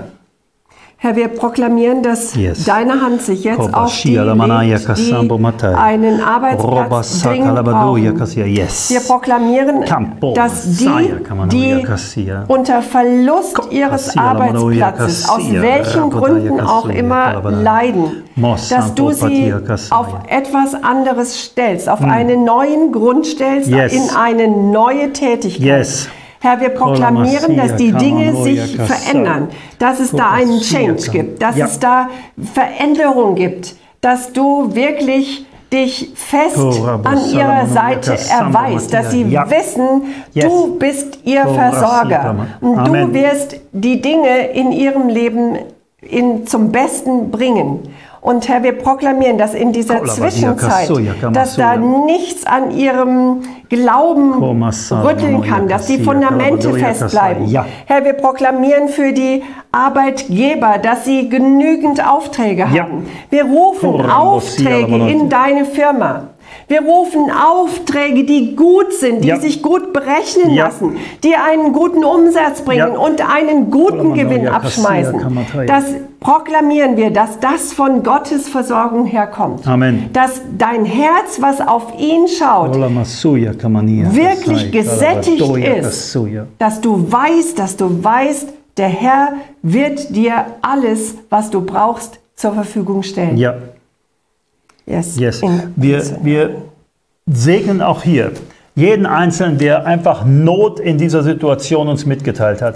So yes. viele, die geschrieben haben, dass sie in Kurzarbeit sind oder dass da eventuell der Verlust des Arbeitsplatzes sind. Ja. Einige, die ihren Arbeitsplatz schon verloren haben. Einige, die wissen, dass sie demnächst gekündigt werden und so weiter. Wir sprechen aus, dass im Namen Jesus Versorgung im Haus Gottes, in den Kindern Gottes freigesetzt ist. Und wenn dich das betrifft, klingt ja. dich ein und sag, ja. jawohl, der Herr wird ein Wunder für mich tun. Yes. Der Herr wird mich versorgen. Ich yes. werde nicht betteln, ja, im übertragenen Sinne. Ich ja. werde nicht in so eine Notsituation kommen, sondern der Herr wird mich versorgen. Ich spreche aus, Arbeitsplätze werden gehalten. Ja. Neue Arbeitsplätze ergeben sich. Es ergeben yes. sich Wunder, Versorgungswunder, wo der Herr Amen. einfach Menschen hält und segnet und versorgt. Wir sprechen aus, dass die Hand des Herrn drauf ist. Ja. Und junge Menschen, die einen Arbeitsplatz suchen, super Ausbildungsplätze, äh, äh super Arbeitsplätze, die sich irgendwie ergeben im Namen des Herrn, wir sind nicht abhängig von dem, was die Welt zu bieten hat, sondern da ist die Ökonomie des Himmels. Und daran docken wir uns an und sagen, Herr, du hast Möglichkeiten, du hast Versorgungsmöglichkeiten, von denen die Welt gar keine Ahnung hat. Und das ist es, yes. was wir wollen und In was Jesus wir name. für uns brauchen im Namen yes. Jesus. Yes. Wir wollen jetzt beten, wenn dich das betrifft, ähm, dock dich an, komm in Übereinstimmung damit. Wir wollen jetzt beten für die Leute, die unter Eheproblemen leiden. Warte mal ganz kurz. Ja? Haben wir den finanziellen Bereich damit ab? Kommt noch vielleicht. Der kommt noch, okay, gut, ja, ja. Ähm, die Leute, die jetzt in, ähm, wo sie sagen, ja, mein Mann bekehrt sich nicht oder meine Frau bekehrt sich nicht oder äh, ich stehe mitten in der Scheidung oder mein Mann oder meine Frau wollen sich scheiden lassen oder da sind andere Personen mit im Spiel. Wir wollen beten für die Ehepartner, die wirklich noch nicht zum Glauben durchgebrochen sind, dass sie eine Berührung durch Gottes Liebe erfahren, auch Gottes Liebe Amen. in dir sehen. Ja. Yes. Es ist ganz wichtig, dass wir ähm, auch in diesen Ehesachen wirklich diesen Respekt voreinander haben. Rede nicht schlecht über deinen Mann oder über deine Frau. Rede, wenn du sie gewinnen willst. Wenn du sie gewinnen willst. Rede, ähm, äh, zwinge sie nicht zum Glauben. Du kannst das Herz eines Menschen nicht verändern. Du kannst nur Glauben vorleben, du kannst Liebe vorleben, aber du kannst nicht ihr Herz umdrehen. Vorbild sein. Sondern bete, hör nicht auf zu beten. Vielleicht sagen jetzt manche, ich bete schon fünf Jahre, zehn Jahre oder wie lange soll das denn noch dauern? Ja, guter Tipp, bete weiter. Ja, bete weiter.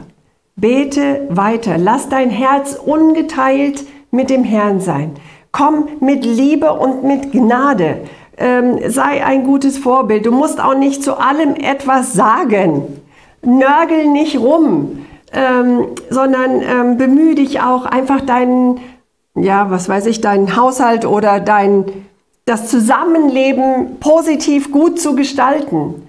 Und ähm, lass dir einfach durch den Heiligen Geist Tipps geben, wie du dein, deine Partnerschaft, deine, deine Ehe gestalten musst oder sollst. Und wir proklamieren, dass Gottes Schutz da ist, dass seine Gnade da reinkommt. Herr, wir proklamieren genau das. Deinen Schutz, deine Gnade auf die Eheleute, die jetzt in äh, Struggle sind, wo die Dinge hm. sich nicht so gut entwickeln. Herr, ich proklamiere, dass deine Gnade diese Menschen umhüllt wie mit einem Mantel oder wie mit diesem äh, roten Band, das ähm, signalisiert oder äh, versinnbildlicht das Blut Jesu, was ein ähm, Bund darum gestaltet. Ich proklamiere, dass der Bund hält und dass die Menschen, die unter dieser Trennung jetzt sind, dass sie innerlich wirklich auf dich ausgerichtet sind, dass sie auf dich schauen. Du bist ihre Kraft. Du bist ihre, ihr Versorger Du bist alles in allem und du erweist dich treu. Herr, wir beten um Gnade, um Schutz, um deine tiefe, echte Versorgung. Ja.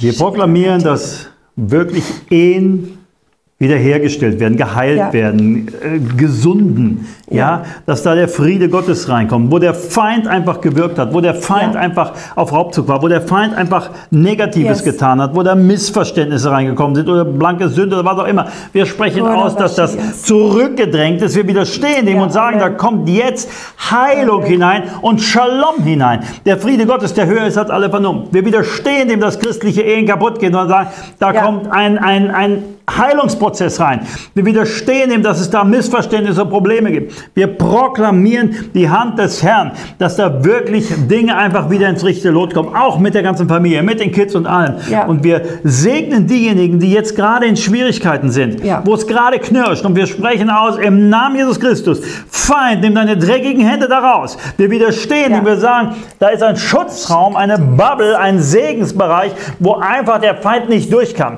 Wir sprechen Schutz und Segen für die christlichen Ehen aus. Und wir sagen, wo der Feind versucht, Zerstörung reinzubringen, sei er zurückgewiesen. Yes. Im Namen Jesus Christus. Yes. Da möchte ich auch gleich weiter beten. Für diejenigen, die Schwierigkeiten haben, weil sie aus einer Scheidung oder durch eine Scheidung durchgegangen sind. Vielleicht Schwierigkeiten mit dem, mit dem äh, Ex-Partner, wo es vielleicht Schwierigkeiten gibt mit der finanziellen Versorgung, wo genau. da nichts kommt. Da genau. waren mehrere Fälle, genau. wo was weiß ich, Männer sich nicht um die Kinder kümmern, obwohl sie gutes Einkommen haben oder sonst was. Wir sprechen aus, dass da die Gerechtigkeit des Herrn yes. reinkommt die und dass die Leute, äh, wie soll ich mal sagen, yes. überführt werden. Amen. Wir proklamieren, dass da keine Notsituation entstand ja. wegen sowas, sondern dass da auch dort Heilung und Versorgung hineinkommt im Namen yes. Jesus Christus. Herr, besonders segnen möchte ich auch da ähm, in diesen Familien, wo so viel äh, Zerstörung auch durch den Feind reingekommen ist. Herr, ich segne die Kinder. Ich yes. erkläre deinen übernatürlichen Schutzmantel um sie, dass ihre Seele geschützt ist, dass sie nicht aus diesen Dingen eine ähm, schräge Entwicklung nehmen, nicht in Schwierigkeiten ähm, lange äh, wohnen oder überhaupt wohnen oder reinkommen. Herr, ich proklamiere, dass deine Hand auf den Kindern liegt, dass du sie wirklich um, ummantelst, dass ähm, dieses Wort vom Neuen Testament äh, Gültigkeit hat. Lass die Kinder zu mir kommen.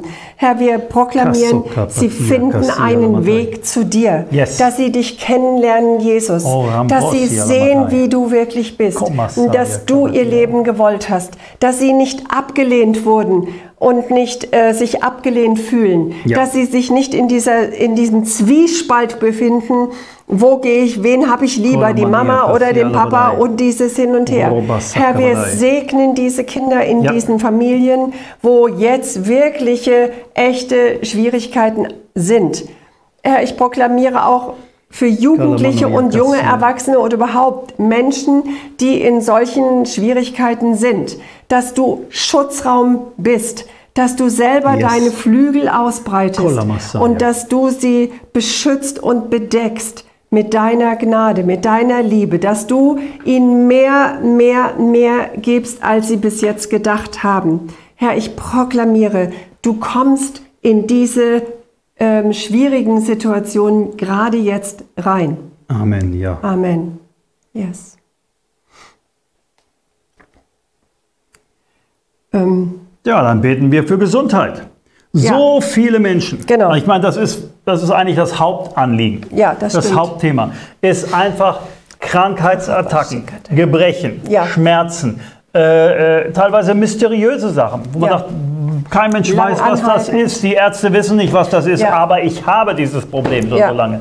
Ja, wie ich vorhin äh, gesagt habe, ja, dass ähm, Jesus gekommen ist und alle geheilt hat, die eben ähm, vom Teufel überwältigt waren. Ja. Krankheit als eine dämonische Macht, eine teuflische Macht, ja. ist etwas, wo wir widerstehen im Glauben. Yes. Und all diese Anliegen, wo einfach körperliche oder psychische Attacken sind auf, den, auf, auf die Menschen, ja, auf die Seele, auf den, auf den Körper. Wir widerstehen dem und wir sagen, dass die heilende Kraft des Herrn da hineinkommt. Amen. Yes. Im Namen Jesus Christus, wir proklamieren, Heilung fließt hier hinein in jeden einzelnen Menschen, in den Geist, in die Seele, in den Körper.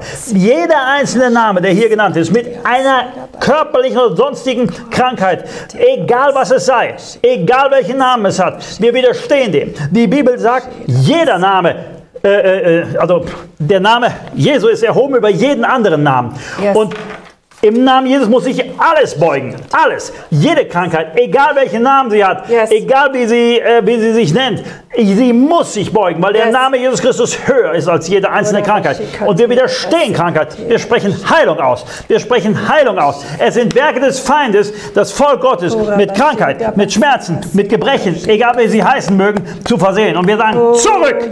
Wir proklamieren Heilung über das Volk Gottes. Nimm es aktiv für dich an. Ja, ja, ja, ich nehme es. Wir sprechen Heilung aus für das Volk Gottes. Wir sprechen Heilung aus. Im Namen Jesus sei geheilt. Empfange deine Heilung aus der Hand des yes. allmächtigen Gottes. Im Himmel sind die Engel aktiv, Heilung zu transportieren. Du yes. musst aktiv sein, sie nehmen zu wollen. Du musst sagen, ja, ich beanspruche sie für mich. Heilung ist mein Erbteil. Krebs muss ich beugen im Namen Jeshua HaMashiach. Ja, Diabetes muss ich beugen im Namen Jeshua HaMashiach. Arthritis und wie das Ding alle heißt, muss ich beugen im Namen Jeshua HaMashiach. Irgendwelche körperlichen Probleme, Asthma, Allergie, wie immer sie heißen mögen, müssen sich beugen im Namen Jeshua HaMashiach. Und wir erklären, diese Dinge sind gebunden, gebunden, gebunden. Yes. Und du bist frei. Yes. Jedes Pro Herzproblem, du bist frei im Namen Jesus. Wir proklamieren es, wir sprechen es dir zu. Ja, im Namen Jesus Christus, wie sie in Afrika immer machen. Blinde Augen, öffnet euch. Taube Ohren, öffnet euch. Ja, yes. jedes Gebrechen weiche, jede Krankheit weiche. Einfach damit Freiheit ist im Volk Gottes. Es muss einen Unterschied geben. Ja zwischen denen, die Gott dienen und denen, die ihm nicht dienen. Und es hat was damit zu tun, dass wir es aktiv nehmen. Deshalb proklamiere ich yes. im Namen Jesus Christus, dass es freigesetzt ist für jeden, der es für sich braucht. Herr, es ist so eine himmelschreiende Not unter dem Volk Gottes. Gerade diese Krankheiten, so, so ja. fürchterlich. Wir widerstehen dem. Wir sagen, das Wort Gottes sagt, dass wir geheilt sind durch seine Striemen, dass wir geheilt sind durch seine Striemen. Yes. Und das proklamiere ich. Das ist die Wahrheit. Das ja. ist das Schwierige. Schwert gegen jede Macht der Krankheit. Wir sind geheilt, geheilt in Christus durch die Striemen, die er getragen hat. Und das proklamieren wir über jeden einzelnen Menschen, der hier eine Not hat und jeden einzelnen, der an der Kamera, der, der zuschaut jetzt, empfange diese Heilung von Krankheit im Namen Jesus Christus. Moscha Kalabadaya Kassia. Herr, wir sprechen auch aus, dass geistliches Wachstum kommt dass die Menschen, die ähm, zurückhaltend sind äh, mit den Dingen des Glaubens, die ähm, mal Ja und mal Nein und dieses Hin und Her und dann ich habe Angst vor dem Feind, aber eigentlich will ich ja doch und äh, dieses ganze komische Gemisch, Herr, wir proklamieren, dass dein Licht scheint, dass das Licht in die Herzen aller hineinkommt. Und das Glaube aufsteht, mehre unseren Glauben, ja. mehre das, gib Zuwachs, lass das mehr von dir kommen, lass mehr Raum werden, lass Raum bei denen werden, die zurückhaltend sind oder die sagen, ah, ich weiß nicht und das ist alles so ein bisschen und, hm, und dann darf ich ja nichts mehr, lass deinen Raum kommen. Herr, wir haben gehört, dass prophetisch angekündigt wurde, dass es einen neuen Hunger und Durst in unserem ja. Land nach dir gibt. Herr, wir öffnen dieses, wir öffnen das, dass dein Hunger und dein Durst in die Menschenleben hineinkommt. Yes. Wir proklamieren, es wird keine Sinnkrise geben sondern sie werden den Sinn in dir finden, ihr Fundament in dir finden. Die Menschen werden zu dir laufen, um zu erkennen, dass du der Herr in ihrem Leben bist. Und sie werden aus freien Stücken und gerne dir dienen wollen. Du bist der Gott allen Fleisches. Ewigkeit ist in die Herzen der Menschen gelegt. Herr, lass sie mit ungeteiltem Herzen auf dich ausgerichtet sein. Und wir proklamieren für uns alle, für mich, ich proklamiere für mich Wachstum, geistliches Wachstum, Zunahme in diesem geistlichen Raum. Sachen, die ich noch nie gesehen habe im Übernatürlichen. Ich werde sie sehen. Sachen, die ich nicht für möglich gehalten habe ich werde sehen, wie sie möglich sind. Amen. Dinge, die ich jetzt noch nicht kenne, ich werde sie kennenlernen, weil du sie mir zur Verfügung stellst. Yes. Und das proklamiere ich für jeden, der hier zuschaut. Amen. Ich proklamiere das. Ich erwarte das. Ich höre diese Zeugnisse wie ein Rauschen, was kommt. Und ich werde diese starken Zeugnisse empfangen. Genau. Und da sind Menschen unter uns, Geschwister, die sehen sich danach, die Stimme Gottes klarer zu hören. Ja. Die sehen sich danach, Träume und Visionen ja. und Bilder zu haben. Ja. Die wollen einfach offen sein für die Geistesgaben. Die sagen, ich will in Zungen beten yes. können und irgendwie ist eine Blockade da. Die sagen, ich möchte einfach gelehrt werden über prophetische Rede, yes. dass ich da hineinkomme. Ich möchte Worte der Weissagung haben. Yes. Ich möchte da hineingehen in das, was der Herr im Übernatürlichen für mich hat. Und ich sage, wenn du diesen Wunsch hast, in deinem Inneren, dann ist das bereits ein Wirken des Heiligen Geistes. Es hat etwas mit deiner Berufung zu tun. Und du nimmst es einfach. Und ich bete für jeden Einzelnen, auch von den Menschen hier, auch in diesem Mosekörbchen und jedem, der zuschaut. Wenn das dein Herzenswunsch ist, so spreche ich aus, dass deine Augen im Geist geöffnet sind, dass deine Ohren im Geist geöffnet sind, dass du Visionen, Bilder, Träume hast. Denn Joel sagt zum Ende der Zeit hin, wird es passieren. Und der Geist Gottes wird ausgegossen. Und ich segne dich damit, dass yes. du jemand bist, der das vom Herrn empfängt, der die Stimme des Heiligen Geistes klar hört, damit ja. er geschult ist, in diesen Zeiten der Wahrheit zu folgen, damit er geschult ist, in der richtigen Weise voranzugehen, yes. damit er geschult ist, andere Menschen zu Amen. leiten Amen. hin in die Wahrheit. Yes. Ja, damit äh, segne ich dich, das spreche ich aus über ja. jeden Einzelnen von uns. Herr, wir kommen auch vor deinen Thron mit dem Anliegen, dass Menschen, die unter Zurückweisung jetzt leiden, hm. die unter Ablehnung leiden, wo Ablehnung von anderen äh, ein tiefes Loch geschaufelt haben, wo Ablehnung wirklich Wunden geschlagen hat, die schon lange vorhanden sind. Ich glaube, dass hier Leute zuschauen, die Ablehnung so oft in ihrem Leben erlebt haben, hm. wo der Feind andere benutzt hat und äh, andere ähm, dich geschädigt haben, indem sie dich einfach bruskiert haben und abgelehnt haben. Herr, ich proklamiere über diese Menschen, ja. über diese Personen, dass jetzt Heilung in ihr Leben hineinfließt. Yes. Einen übernatürlichen Strom der ja. Heilung, der jetzt reinfließt. Amen. Etwas, was jetzt dieses Loch auffüllt Shalom. und was wirklich eine göttliche Wiedergutmachung yes. ist. Shalom. Herr, wir proklamieren, es kommen neue Menschen in das Leben dieser Person. Es kommen Leute da rein, die sie weiterbringen. Es kommen Menschen, die sie aufbauen, die wirklich sie nach vorne treiben, die sie anschieben, die etwas Neues, Gutes, Richtiges in dein Leben hineinbringen. Ich proklamiere, es werden Menschen sein, deren Herz ungeteilt auf die Anliegen und Absichten des Reiches Gottes ausgerichtet Amen. sind. Und diese Menschen werden dich weiterbringen. Ja. Du wirst Neuland erreichen. Du wirst ein neues Land sehen. Du wirst in ein neues Land hineinkommen. Amen. Und der Feind Amen. hat kein Recht, yes. dir dieses Land madig zu machen. Ich proklamiere, Ablehnung muss aus deinem Leben yes. verschwinden.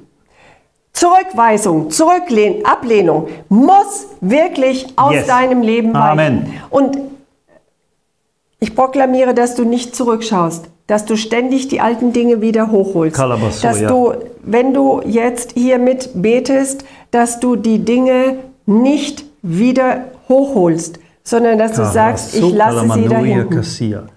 Und Neues kommt. Ja. Neues Land. Ja, wir nehmen alles, was den Bereich Mobbing beinhaltet, damit rein. Und ja. wir nehmen alles, was irgendwelche Ablehnung von Seiten irgendwelcher Verwandten oder Eltern oder sonst was oder Missbrauch oder sowas, nehmen wir damit hinein. Das, was da angetan worden ist von dir, wir sprechen aus Heilung, wir sprechen aus Wiederherstellung, wir sprechen aus Segen. Es gibt Leute, die haben Ablehnung in ihrer Gemeinde erlebt ja, Ablehnung von anderen Geschwistern erlebt. Manche, die sind so geschockt ja. von dem, was Christen ihnen angetan haben. Wir sprechen Heilung und Shalom da hinein. Und eins ist wichtig, die Kraft, vergeben zu können, damit ja. du selber frei wirst. Die Kraft, die Sachen dem Herrn zu geben und loszulassen, damit Loslassen. du selber frei yes. wirst. Das ist sehr wichtig. Das ist etwas, was nicht leicht ist, aber was wichtig ist. Ja. Vergebung bringt den Menschen dem, was angetan ja. worden ist, in Freiheit. Und ich segne dich, damit das freigesetzt mhm. ist in deinem Leben. Ich segne dich, damit das, was dem Volk Gottes angetan worden ist, egal von wem oder was, dass das yes. weggenommen ist und dass du erhoben wirst und dass du in die Position kommst und dass das unter die Füße kommt. Im yes. Namen Jesus Halleluja. Christus. Dann lag mir echt noch auf dem Herzen, wir hatten vorhin das schon angesprochen, das mit dem Thema Finanzen. Das Thema Finanzen ist wirklich etwas, ja. was für uns alle wichtig ist. Das Finanzen, also der finanzielle Fluss, das ist wie der Blut, Blutkreislauf der Gesellschaft. Ja, und wir alle brauchen ausreichende Finanzen. Ja, ich spreche nicht von irgendeinem irren Reichtum, ich spreche von den ausreichenden Finanzen, die jeder braucht. Und so viele Menschen leiden unter knapper Rente mhm. oder gar Hartz IV. Mhm. Ja, Schande auf diesen Harz. Echt, Schande seinem Namen. Ja, unter diesem ätzenden Hartz IV. Ja, oder unter jetzt Arbeitslosigkeit, wie wir gerade mhm. gesagt haben finanzielle Notsituation. Da sind Leute, die, vorhin hatten wir das mit, wo da von der Versorgung von irgendwelchen mhm. Ex-Partnern das vielleicht mhm. nicht kommt.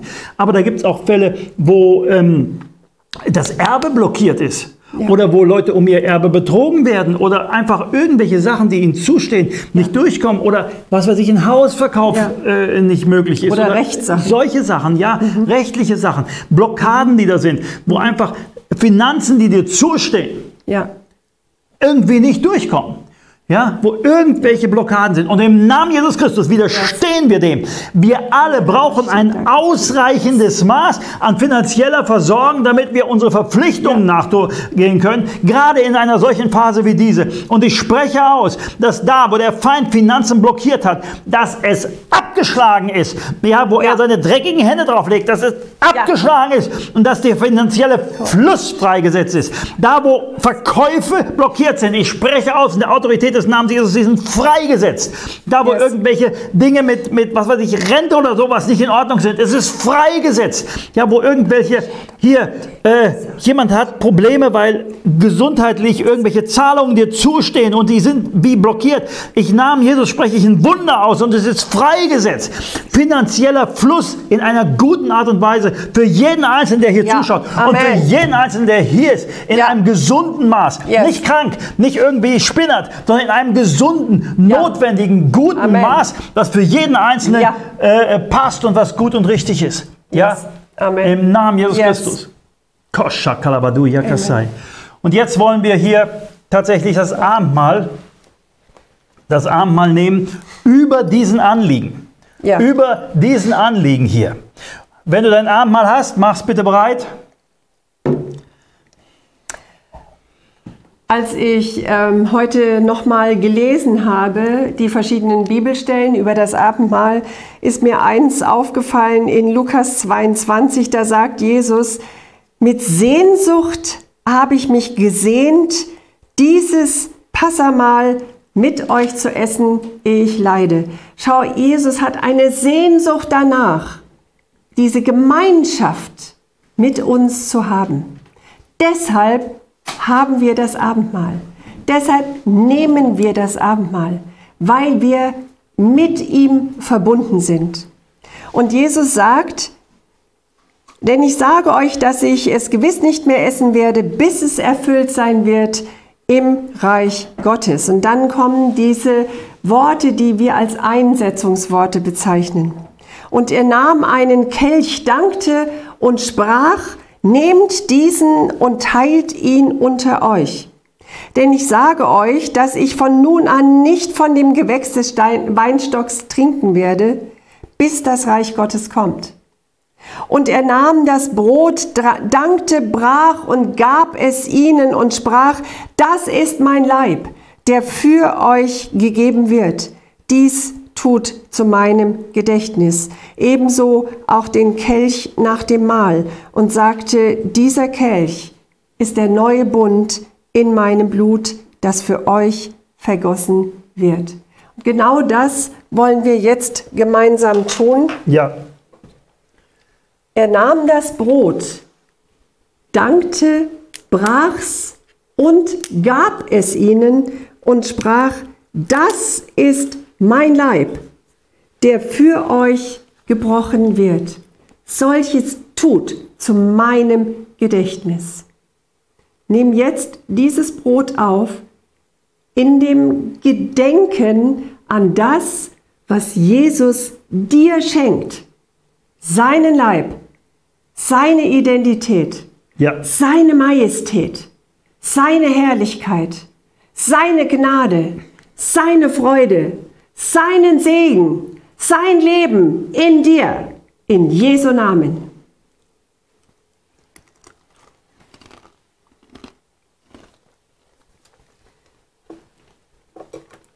Und wir brechen über diesen Anliegen und auch über dem, was du hast, brechen wir den Leib Jesu als einfach ein Zeichen dafür, da ist nichts irgendwie Komisches dabei, sondern einfach nur als ein Zeichen, dass all diese Anliegen ja. unter diesem gebrochenen Leib des Herrn ja. ähm, bedeckt sind. Ja? Wir brechen das Brot als ein Zeichen dafür, dass all diese Anliegen, all diese Namen, all diese Menschen ja. darunter mit eingebettet sind. Yes.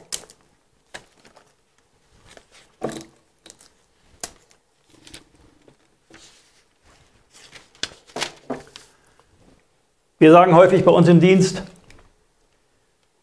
das Kostbarste, was es im Universum gibt, ist das Blut Jesu. Ja. Das Blut Jesu, was er vergossen hat. Gott wird Mensch, lebt als Mensch, wird schmählich hingerichtet und sein Blut bringt die komplette. Erlösung. Durch sein Blut, was er vergossen hat, sind wir alle gerettet. Durch dieses Blut können wir neues Leben haben. Durch dieses Blut haben ja. wir erst den Zugang überhaupt zu der Identität. Ohne das Blut Jesu wäre gar nichts.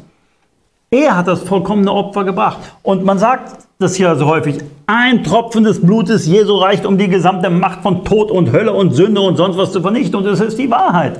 Ja. Es ist die stärkste äh, äh, Power im, äh, in, im Universum, weil Jesus hat das vollkommene Opfer gebracht. Und er hat uns seinen Leib, der gebrochen worden ist, und sein Blut, was vergossen worden ist, gegeben als Bund.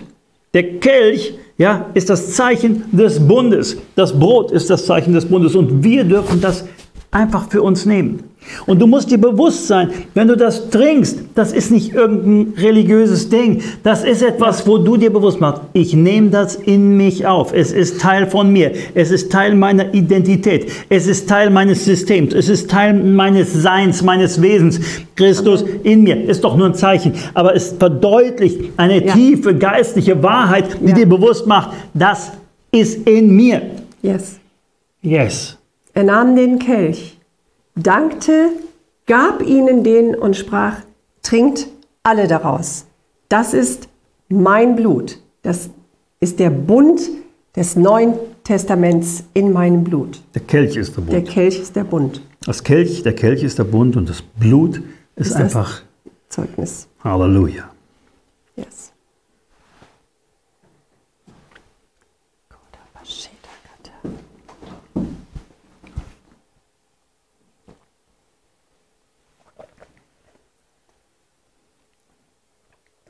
Ist.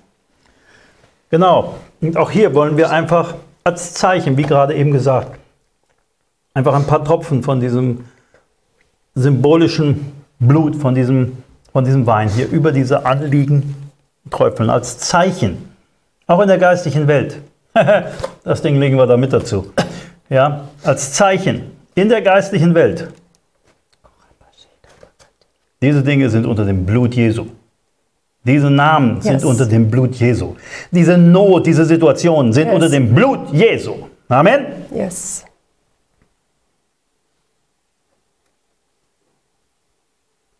Yes. Amen.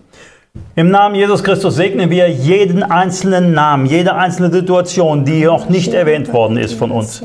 Jeder Mensch, der hier irgendwie in einer Notsituation ist, die wir jetzt nicht spezifisch angesprochen haben, wo irgendetwas ist, wir proklamieren Durchbruch, yes. wir proklamieren Heilung, wir proklamieren Veränderung, wir proklamieren ein Eingreifen Jesu, ein Eingreifen Gottes im Leben von diesen Menschen, was auch immer ihre Not sein mag, was auch immer dort an persönlicher Herausforderung hat, was auch immer das Anliegen ist. Das sind Leute, die wünschen sich einfach ein Baby, einfach schwanger zu werden. Ja, das sind Leute, die haben Kinder, die sind äh, vielleicht äh, jemand hat uns angeschrieben, der hat gesagt, ich habe zwei Kinder aufgenommen und äh, die haben mir so viel Not und, und Schmerzen zugefügt. Ja, wir sprechen aus, dass da Heilung reinkommt. Yes und dass Veränderung kommt. Und ich segne auch dich, wenn deine Situation, wie immer sie aussehen mag, vielleicht hier nicht genannt ist, empfange einfach eine Berührung Gottes. Empfange den Segen Gottes.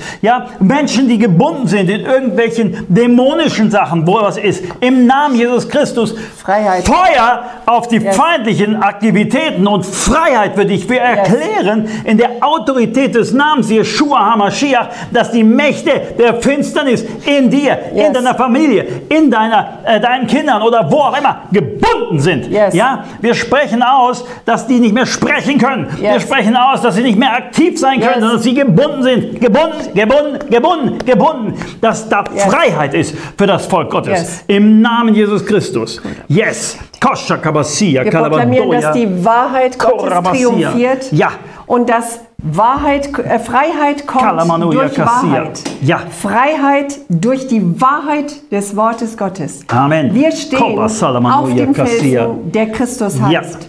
Und das ist das Leben, nach dem wir uns ausrichten. Wir ja. schauen auf den Herrn und auf die Macht seiner Stärke. Yes. Und yes. wir beten noch für unser deutschsprachiges Europa. Yes. Was uns einfach in besonderer Weise auf dem Herzen liegt. Für Deutschland, Österreich, Schweiz, yes. Liechtenstein und für die Menschen, die drumherum ja. irgendwo deutschsprachig sind. Ja. Was weiß ich, in Norditalien oder wo immer, Paraguay, wo immer Deutschsprachige sind. Wir bekommen ja Zuschriften von überall, ja. wo Deutschsprachige sind. Wir sprechen aus, Herr, dass du dich über diese Nationen erbarmst, yes. dass dein Segen auf uns ist. Wir sprechen aus, dass du gerechte Politiker in Position yes. bringst. Ja, und Leute, die nicht gut sind, dass du sie einfach wegnimmst, wie auch immer das ist. Wir sprechen aus, dass Wahrheit in den Medien verkündet wird. Wir sprechen aus, dass du Licht reinbringst. Licht, damit wirklich erkennbar yes. ist, wo Machenschaften des Bösen sind. Wir sprechen Licht ja. aus auf die Finsternis. Ja, wir haben über den Teufel gehört. Den Herrn, der ist in der Finsternis. Wir sprechen Licht auf auf die Machenschaften des Bösen. Wo irgendwelche Agenten des Feindes sind, Licht drauf. Wir segnen das und wir sprechen aus, dass unsere Bevölkerung in Deutschland ein Recht hat, über die Wahrheit informiert zu werden und nicht von irgendwelchen Sachen verführt wird. Wie auch immer das aussehen mag. Ja. Wir proklamieren Licht, wir proklamieren Segen, wir proklamieren, was der Herr verheißen hat. Eine gewaltige Bewegung Gottes. Wir proklamieren Bekehrungswellen. Wir proklamieren, dass Menschen gerettet werden. Millionen in dieser Zeit. Deutschland, Österreich, Schweiz und all die anderen, yes. die befinden sich im Tal der Entscheidung. Und ich proklamiere, ja. dass im Tal der Entscheidung es zu einer Scheidung kommt. Die eingehen in die Finsternis, mögen sie gehen, aber die meisten kommen ins Licht hinein. Und das ist das, wofür wir beten. Deutschland wird sich radikal verändern und es wird eine yes. gewaltige Bewegung Gottes geben. Amen. Und das Licht des Herrn yes. wird aufstrahlen. Der Morgen ist schon aufgegangen. Die Wolke der Finsternis ist ja. schon zerbrochen. Der die mächtigen Strukturen des Feindes sind im Zusammenbrechen und das Reich Gottes kommt in Kraft, in Autorität hervor. Auf der einen Seite Finsternis, ja, ja aber auf der anderen Seite Licht. Und wir sind im Licht und wir werden sehen, wie der Herr uns gewaltig voranbringt, in Zeichen, in Wundern, in Kraft erweisen. Und wir werden sehen, dass es eine gewaltige, gewaltige Bewegung Gottes gibt, ein echter Tsunami. Das yes. haben die Propheten verheißen. Das glauben wir und das bete ich für unsere Nation. Amen. Kosha Kabasia Kalabadai. Amen. Amen. Ist mein Thema, ne? Ja. Entschuldigung. Ja. Amen. Hier vielleicht noch eine Kleinigkeit. Mosekörbchen, ja, was du vergessen hast zu sagen. Hier ist eine Windel. Ne? Ich habe gesagt. Eine Windel hast mhm. du gesagt? Oh, sorry, habe ich nicht gehört.